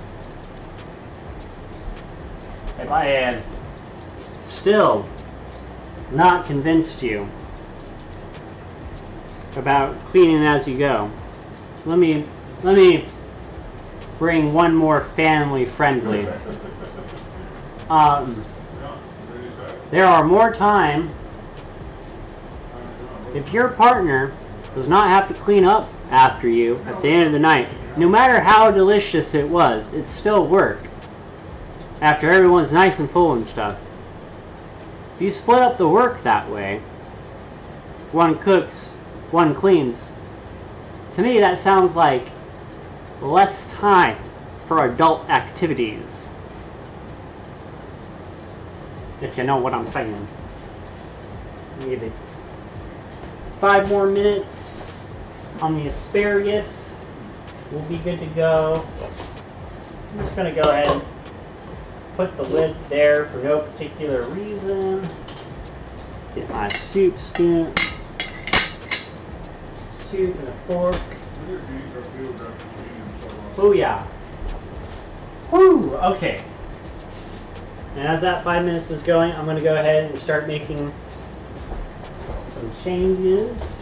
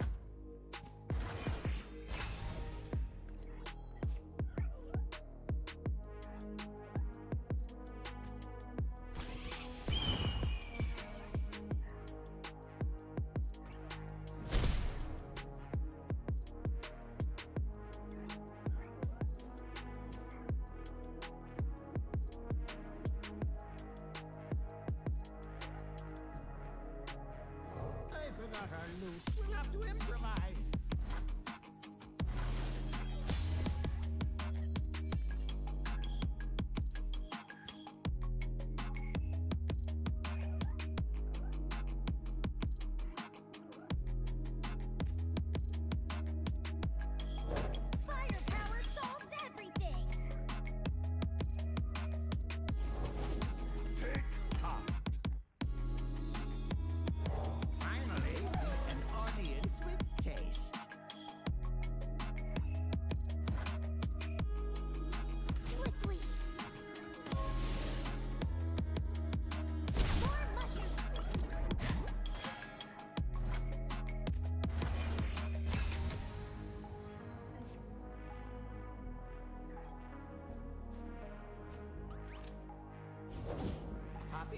Didn't prepare you a villainous theme. Oh, that's okay. You should probably run anyway.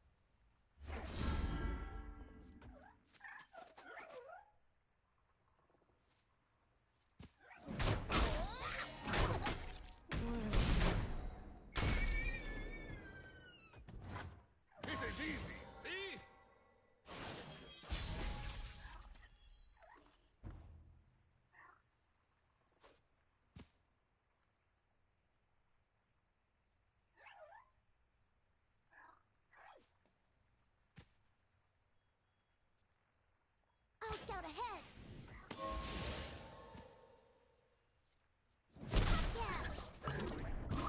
Success is planting your mushrooms right.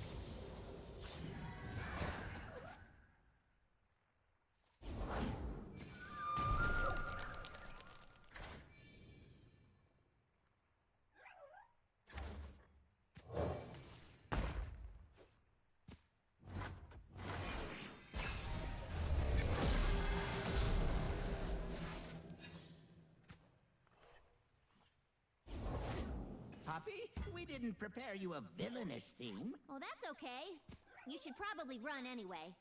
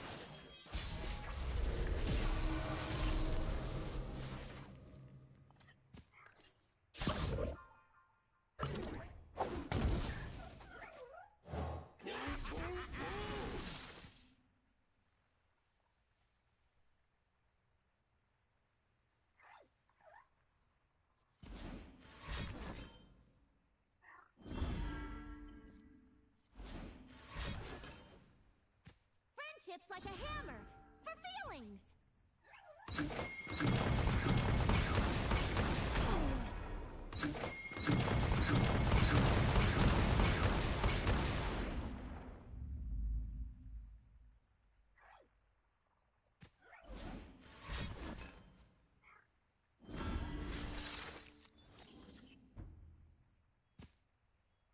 Never know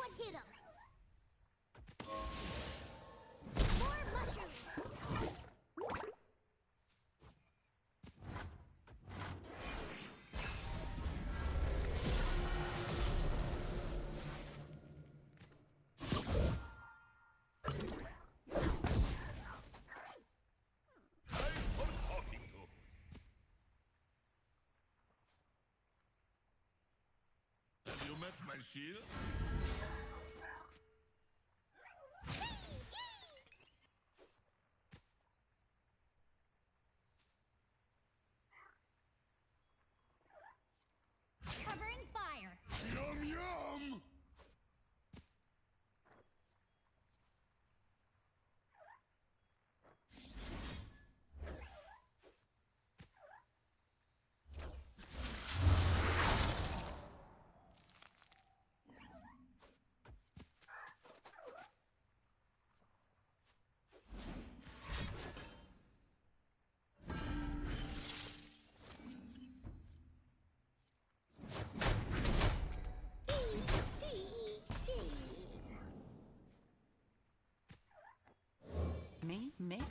Not by a long shot.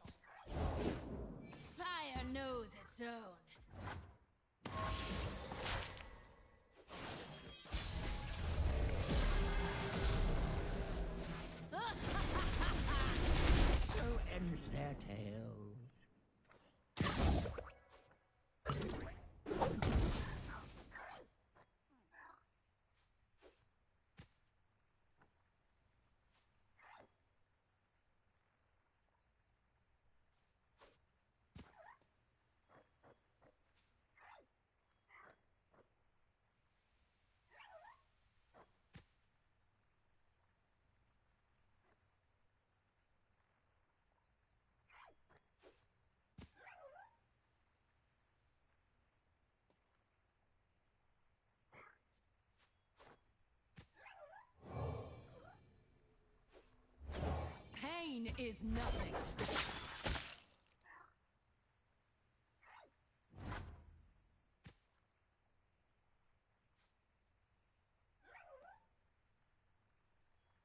Let's investigate.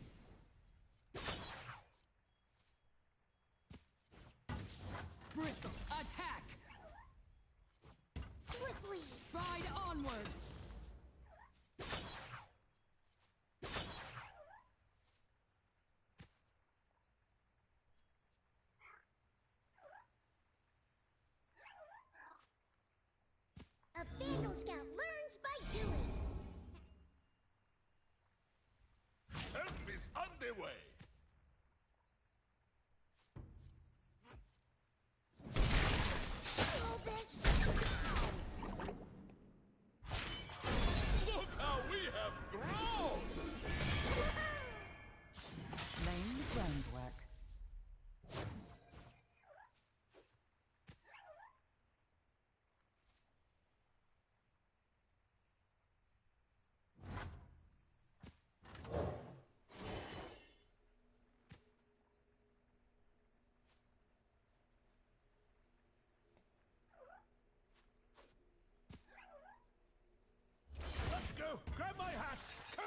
mustache!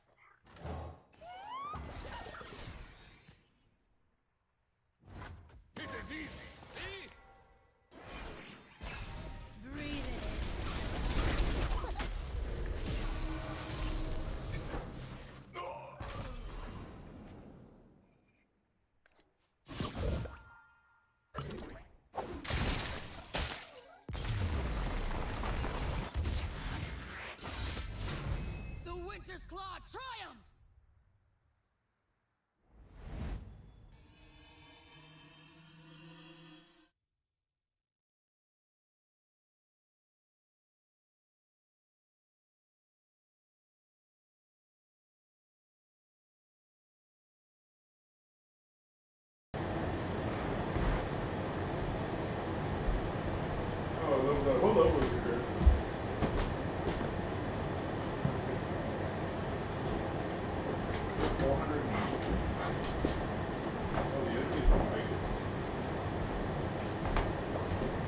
you know, honestly kind of forgot these were in here.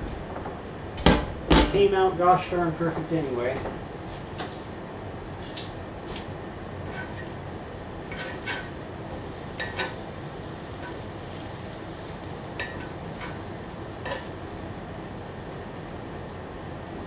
Where's my mirror?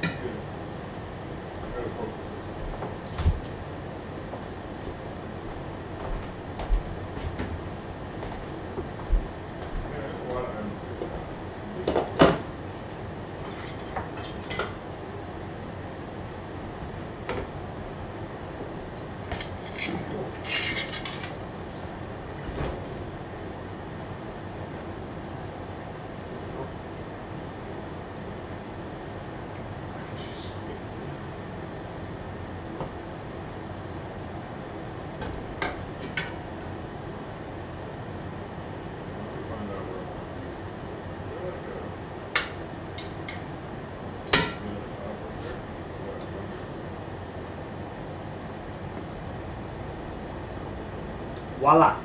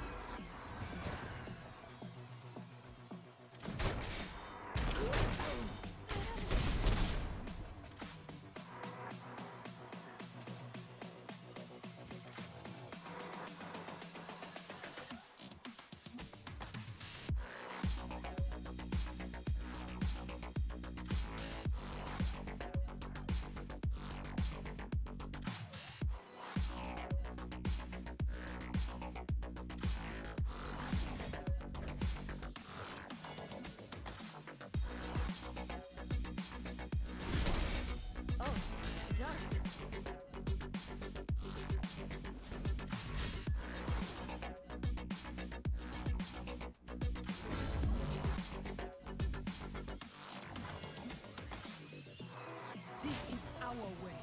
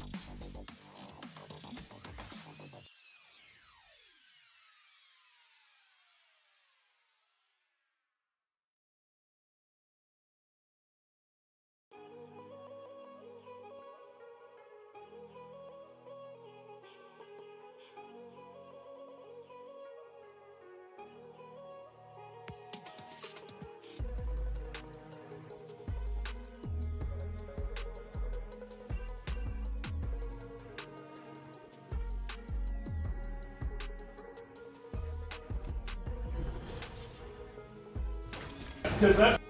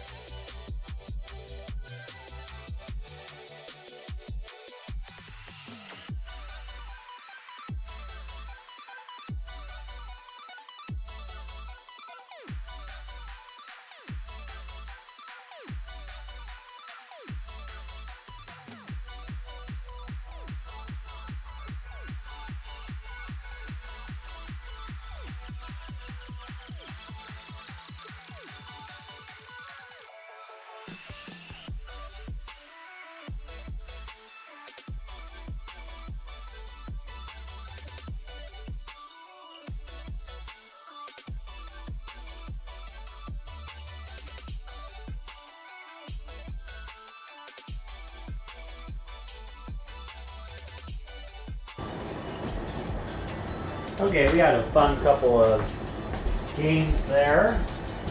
Cooking until the sun goes down. We'll have to throw on some more lights on the situation.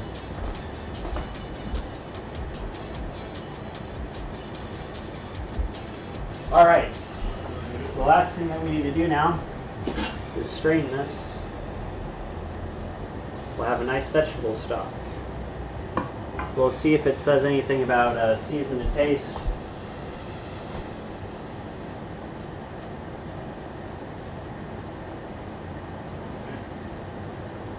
So, from my understanding of how stocks work, you're not supposed to salt it. And I checked the instructions, and they did not mention salting it either. We are going to get a fine strainer here.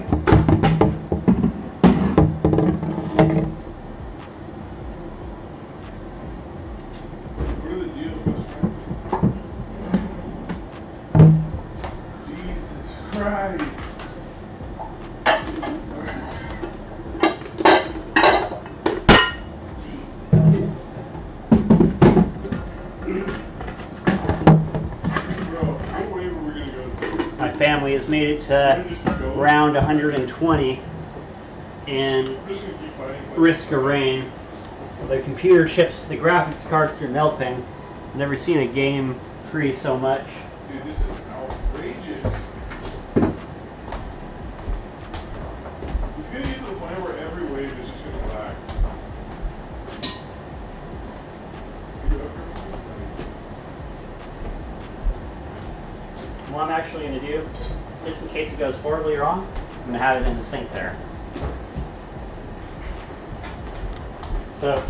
Trick with pouring this, is that you don't want to be unconfident when you pour, otherwise it's going to come over the lip.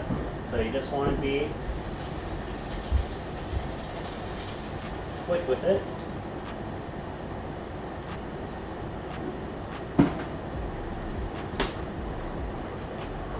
It looks like a bit did go over the edge. Not to worry.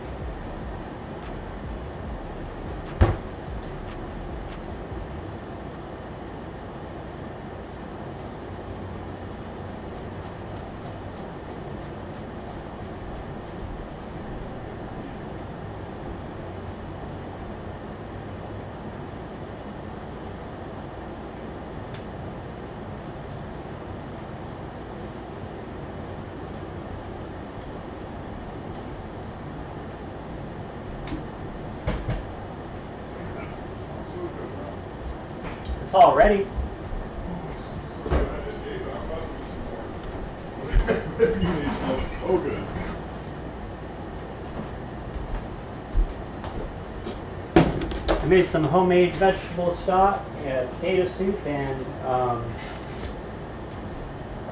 veggie stock. yeah, from scratch. I used uh, we had to use a lot of the leftover vegetables because we were gone for a week out in Florida there. Yeah. And uh, so,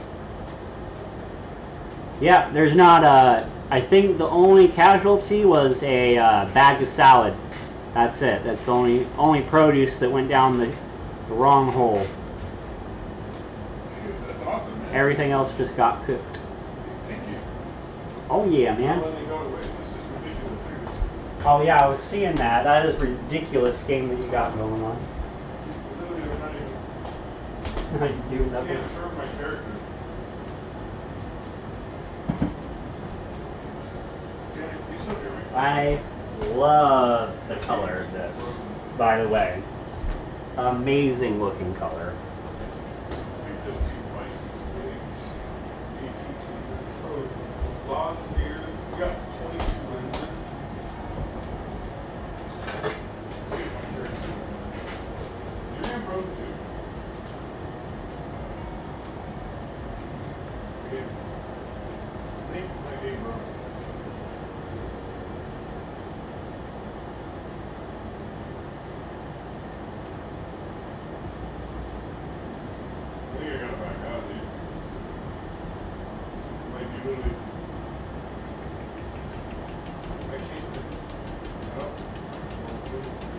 So, I thought maybe the uh, asparagus would make it bitter, but it actually kind of made it a little sweet. Um, I thought the potatoes would make it too thick. Um, it's definitely, you know, now I think about it, it would have been pointless to salt this before because the potatoes would have absorbed all the salt. And I really like this, putting it like this instead of in a pitcher, because in this bowl like this, this is going to let it cool down much more rapidly.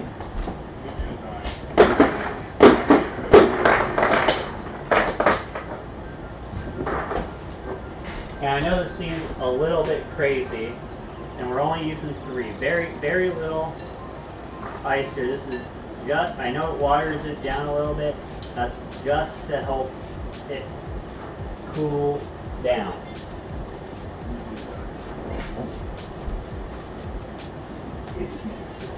Alright. Let's see what else we do.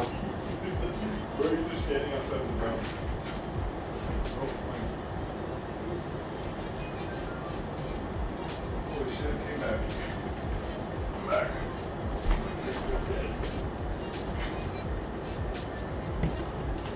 So, I'm what to, uh, it's kind of a thing, because I know all the nutrients that they cooked out for these vegetables. I bet all the flavors gone, right?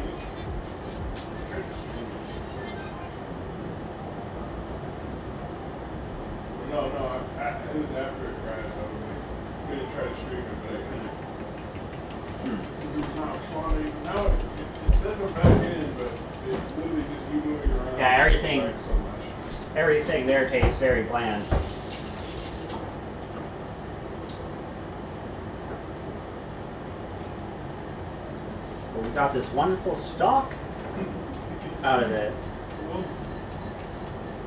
I should put an estimate on how much vegetables this was. We kind of look at the receipt here. How many more was left? you know? Bottom left. Oh wow, I didn't get any of this stuff in this one.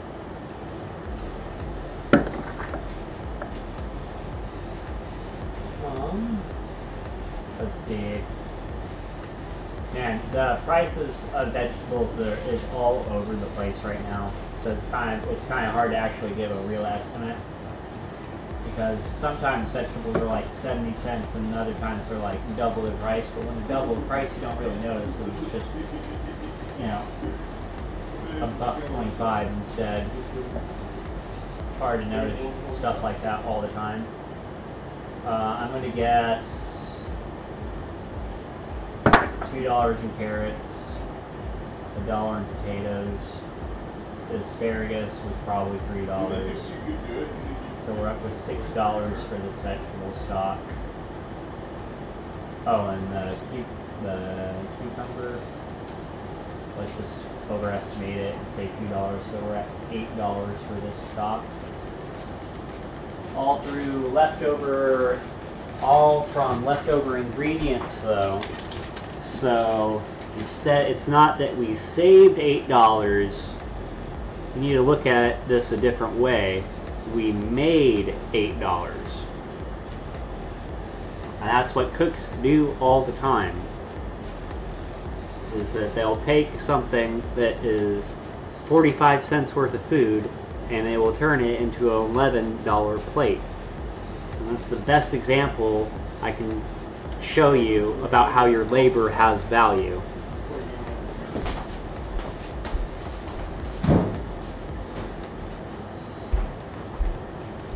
Okay, folks, so I'm very sad because it looks like this is the end of the vegetables. And even though we used them all, it just it almost it doesn't doesn't seem right to just toss it. So if I were doing more of this, if I was going to make a lot of stocks at home, I'd a hundred a hundred percent start a compost. If you're more in the apartment complexes, it might be hard for you to have a compost. But it, since uh, I have heard a great statistic recently that over 50% of Americans live in the suburbs, and there's nothing stopping us from uh, connecting as a community for all sorts of stuff, for our own transportation, to make our own uh, compost piles. You could even have the compost go fund a um, community garden. And once you have a community garden going, you have a community garden going, you're going to have the town start talking about where their water supply is coming back. Once people figure out where their water supply is coming from, then we really start getting to the heart of the matter of so many different things. It all starts with a little bit of food. Now I am I am going to tidy up. I am going to do this. I didn't just play a couple games for no reason. I'll show you how quick this will this finish up. I am a little bit tired, but we'll finish it up.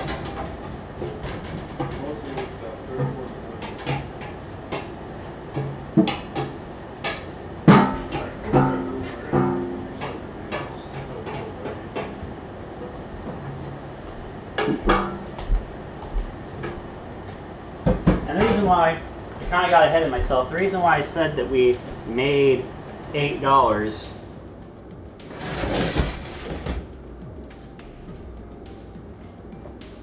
is because that was the cost of the food, right? That we now have this stock out of it. Which this is about two quarts, maybe a quart and a half. This costs three ninety nine. Sometimes I see these stocks, these stocks right here. You want to put in your picture real quick? How many months you Now these stocks right here, four dollars, five dollars. This probably has way more nutrients in it. I wonder which one does have more nutrients in it.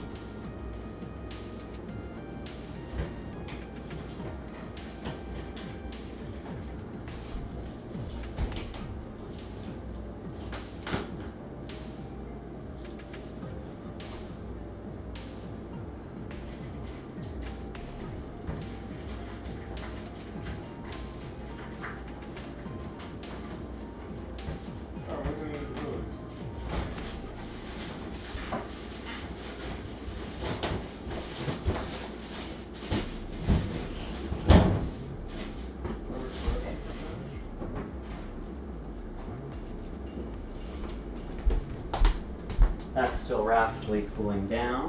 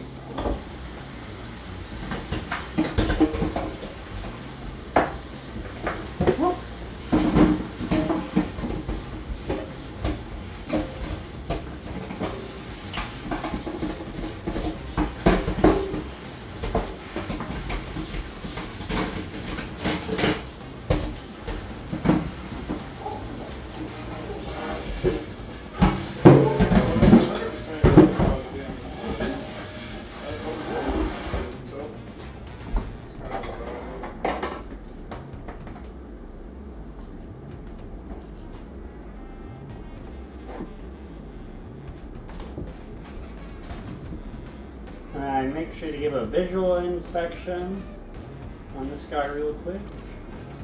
Or it's just when you hit the hundred, it does it on its own.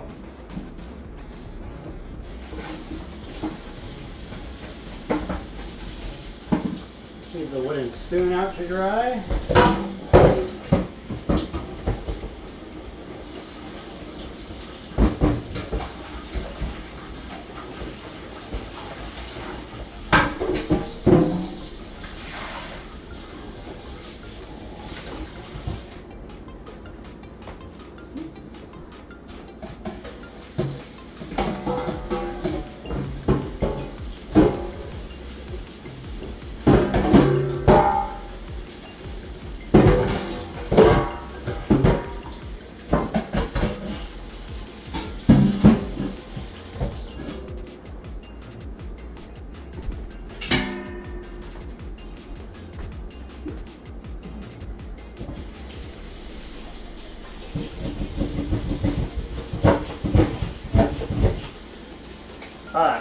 Works the way it's supposed to.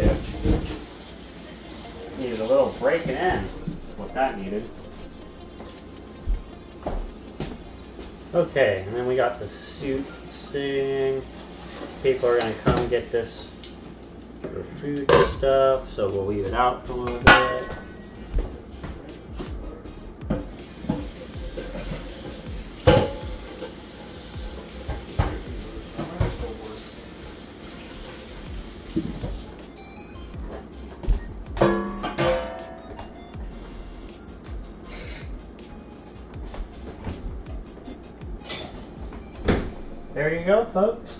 Couple things left out just for more people are going to be joining the room now. And this gets put away. Yeah, that was the whole show today. We even got in a little bit of video games. Oh man, I still left it uh, on uh, Runeterra, unfortunately. But people will kind of get the point. I think I left that up anyway. Uh, probably not. Anywho, thank you all so much for joining me today. Uh, let me say my last hurrahs to the chat here. I was disconnected for a minute. Uh, let me go check the main computer.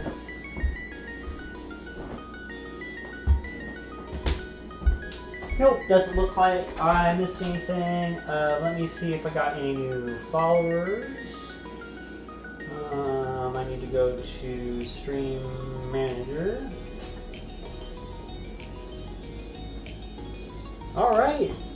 Alright. Alright, no one to thank? Okay.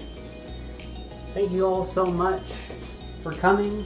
Really appreciate everyone that showed up.